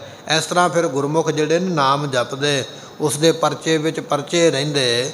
ਤੇ ਉਹਨਾਂ ਨੇ ਹੰਕਾਰ ਨੂੰ ਮਾਰਿਆ ਹੈ। ਗੁਰਮੁਖ ਸਾਇਰ ਪਾਹਣ ਤਾਰੇ। ਮਹਾਰਾਜ ਕਹਿਣ ਲੱਗੇ ਜਿਹੜੇ ਗੁਰਮੁਖ ਨੇ ਉਹਨਾਂ ਨੇ ਭਾਈ ਨਾਮ ਜਪਣਾ ਕੀਤਾ ਹੈ। ਤੇ ਨਾਮ ਜਪ ਕੇ ਉਹ ਜਿਹੜੇ ਗੁਰਮੁਖ ਨੇ ਉਹਨਾਂ ਨੇ ਸਾਇਰ ਪਾਹਣ ਤਾਰੇ। ਸੋ ਸਾਇਰ ਕਹੀਏ ਜਿਹੜੇ ਹੰਕਾਰ ਅਤੇ ਇਹ ਜਿਹੜੇ ਵਿਕਾਰ ਹਨ ਸੋ ਇਹਨਾਂ ਨੂੰ ਉਹਨਾਂ ਨੇ ਖਤਮ ਕਰ ਦਿੱਤਾ ਹੈ। ਕੋਟ 33 ਉਧਾਰੇ ਤੇ ਗੁਰਮੁਖ ਜਿਹੜੇ ਨੇ ਭਾਈ ਉਹਨਾਂ ਨੇ ਪੱਥਰਾਂ ਵਾਂਗ ਗੁਰਮੁਖ ਸਾਇਰ ਪਾਹਣ ਤਾਰੇ। ਜਿਹੜੇ ਗੁਰਮੁਖ ਨੇ ਉਹਨਾਂ ਨੇ ਪੱਥਰਾਂ ਵਾਂਗੂ ਜਿਹੜੇ ਕਠੋਰ ਹਿਰਦੇ ਨੇ ਜਿਹੜੇ ਕਹਿੰਦੇ ਵੀ ਅਸੀਂ ਨਹੀਂ ਰੱਬ ਦੇ ਨਾਮ ਨੂੰ ਜਪਦੇ। ਕਈ ਲੋਕ ਇਸ ਤਰ੍ਹਾਂ ਦੇ ਹੁੰਦੇ ਜਿਹੜੇ ਰੱਬ ਦੇ ਵੱਲੋਂ ਬਿਲਕੁਲ ਬੇਮੁਖ ਨੇ। ਉਹਨਾਂ ਦਾ ਹਿਰਦਾ ਇੰਨਾ ਕਠੋਰ ਹੈ ਇੰਨਾ ਸਖਤ ਹੈ ਉਹਨਾਂ ਦੇ ਸਾਹਮਣੇ ਜਿੰਨਾ ਮਰਜ਼ੀ ਪਾਪ ਹੋਈ ਜਾਵੇ ਕਰਮ ਹੋਈ ਜਾਵੇ, ਉਹਨਾਂ ਦਾ ਮਨ ਪਿੰਗਲਦਾ ਹੀ ਨਹੀਂ ਹੈ, ਮਨ ਦਰਵੀ ਭੂਤ ਨਹੀਂ ਹੁੰਦਾ ਹੈ। ਮਨ ਵਿੱਚ ਦਇਆ ਨਹੀਂ ਆਉਂਦੀ ਹੈ। ਕਹਿਣ ਲੱਗੇ, ਗੁਰਮੁਖਾਂ ਨੇ ਤੇ ਇਹੋ ਜਿਹਾਂ ਨੂੰ ਵੀ ਰੱਬ ਦੇ ਨਾਮ ਦੇ ਵੱਲ, ਜਪਣ ਵੱਲ ਲਾ ਦਿੱਤਾ ਹੈ। ਗੁਰਮੁਖ ਸੋ ਮਹਾਰਾਜ ਕਹਿਣ ਲੱਗੇ, ਸਾਇਰ ਪਾਹਣ ਤਾਰੇ, ਜਿਹੜੇ ਪੱਥਰਾਂ ਦੇ ਵਾਂਗੂ ਕਠੋਰ ਹਿਰਦਿਆਂ ਵਾਲਿਆਂ ਨੂੰ ਗੁਰਮੁਖਾਂ ਨੇ ਨਾਮ ਜਪਾ ਕੇ ਉਹਨਾਂ ਨੂੰ ਵੀ ਸੰਸਾਰ ਤੋਂ ਪਾਰ ਕਰ ਦਿੱਤਾ। ਐਸੀ ਗੁਰਮੁਖਾਂ ਦੀ ਅਵਸਥਾ ਹੈ। ਕੋਟ 33 ਉਧਾਰੇ ਗੁਰਮੁਖੋ ਰਾਮਚੰਦਰ ਜੀ ਨੇ ਤੇ ਹੋ ਸਕਦਾ ਵੀ 33 ਕਰੋੜ ਦੇਵਤਿਆਂ ਦਾ ਭਲਾ ਕੀਤਾ ਹੈ ਪਰ ਗੁਰਮੁਖਾਂ ਨੇ ਉਹਨਾਂ ਦੇ ਕੋਲ 33 ਕਰੋੜ ਦੀ ਗਿਣਤੀ ਨਹੀਂ ਹੈ। 33 ਕਰੋੜ ਤੋਂ ਵੀ ਕਿਤੇ ਅਧਿਕ ਲੋਕਾਂ ਦੀ ਬੰਦਗੀ ਕਰਾ ਕੇ ਨਾਮ ਜਪਾ ਕੇ ਉਧਾਰ ਕਰ ਦਿੱਤਾ ਹੈ। ਤੇਰੇ ਕਵਨ ਕਵਨ ਗੁਣ ਕਹਿ ਕਹਿ ਗਾਵਾਂ। ਬਚਨ ਆਪਾਂ ਪੜਦੇ ਆ ਨਾ, ਤਾਰੇ ਗਿਣੇ ਜਾਤ, ਤੇਰੇ ਤਾਰੇ ਨਾ ਗਿਨਾਤ ਹੈ ਭੱਲੇ ਅਮਰਦਾਸ, ਗੁਣ ਤੇਰੇ, ਤੇਰੀ ਉਪਮਾ। ਪਟਾ ਨੇ ਆਖਿਆ ਨਾ, ਕਨ ਹਰ ਬੂੰਦ ਬਸੋਰੋ, ਮਾਵਲ ਕੁਸਮ ਬਸੰਤ ਗਨੰਤ ਨ ਆਵੇ। ਮਹਾਰਾਜ ਬਦਲ ਦੀਆਂ ਕੜੀਆਂ ਨਹੀਂ ਗਿਣੀਆਂ ਜਾ ਸਕਦੀਆਂ, ਧਰਤੀ ਦੇ ਫੁੱਲ ਨਹੀਂ ਗਿਣੇ ਜਾ ਸਕਦੇ। ਰਾਵਸਸ ਕਿਰਨ ਉਦਰ ਸਾਗਰ ਕੋ ਗੰਗ ਤਰੰਗ ਅੰਤ ਕੋ ਪਾਵੇ। ਸੂਰ ਚੰਦਰਮਾ ਦੀਆਂ ਕਿਰਨਾਂ ਨਹੀਂ ਗਿਣ ਸਕਦਾ, ਗੰਗਾ ਵਿੱਚ ਕਿੰਨੀਆਂ ਛੱਲਾਂ ਉੱਠਦੀਆਂ ਪਈਆਂ, ਲਹਿਰਾਂ ਉੱਠਦੀਆਂ ਗਿਣ ਨਹੀਂ ਸਕਦਾ। ਰੁਦਰ ਧਿਆਨ ਗਿਆਨ ਸਤਗੁਰ ਕੇ, ਕਬ ਜਾਨ ਭਲ ਉਨਹਿ ਜੋ ਗਾਵੇ। ਤੇ ਮਹਾਰਾਜ ਅਗੇ ਬਚਨ ਕਰਦੇ, ਭੱਲੇ ਅਮਰਦਾਸ ਗੁਣ ਤੇਰੇ, ਤੇਰੀ ਉਪਮਾ ਤੋਏ ਬਨ ਆਵੇ। ਭੱਲੇ ਅਮਰਦਾਸ ਗੁਣ ਤੇਰੇ, ਤੇਰੀ ਉਪਮਾ ਤੋਏ ਬਨ ਆਵੇ। ਭੱਲੇ ਅਮਰਦਾਸ ਗੁਣ ਤੇਰੇ, ਤੇਰੀ ਉਪਮਾ ਤੋਏ ਬਨ ਐਸੇ ਨੇ ਸਤਿਗੁਰੂ ਜੀ ਰਾਮ ਜੀ ਵਰਗਿਆਂ ਨੇ 33 ਕਰੋੜ ਦੀ ਗਿਣਤੀ ਦੇ ਦੇਵਤੇ ਰਿਹਾ ਕੀਤੇ। ਗੁਰੂ ਅਮਰਦਾਸ ਮਹਾਰਾਜ ਜੀ, ਤੁਹਾਡੀ ਮਹਿਮਾ ਤੇ ਕਥਨ ਕੀਤੀ ਨਹੀਂ ਜਾ ਸਕਦੀ। ਤੁਸੀਂ ਪਤਾ ਨਹੀਂ ਕਿੰਨੇ ਕੁ ਕਰੋੜਾਂ ਜਿਹੜੇ ਨੇ, ਉਹ ਸੰਸਾਰ ਦੇ ਵਕਾਰਾਂ ਤੋਂ ਬਚਾ ਕੇ ਸੰਸਾਰ ਤੋਂ ਉਤਾਰ ਦਿੱਤੇ।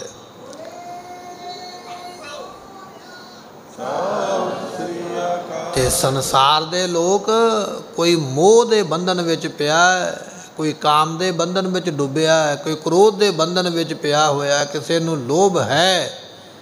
ਇਹਨਾਂ ਵਕਾਰਾਂ ਦੇ ਬੰਧਨਾਂ ਦੇ ਵਿੱਚ ਜਿਹੜੇ ਪਏ ਹੋਏ ਮਹਾਰਾਜ, ਤੁਸੀਂ ਉਹਨਾਂ ਨੂੰ ਬਾਹਰ ਕੱਢ ਦਿੱਤਾ, ਉਹਨਾਂ ਨੂੰ ਮੁਕਤ ਕਰ ਦਿੱਤਾ ਹੈ।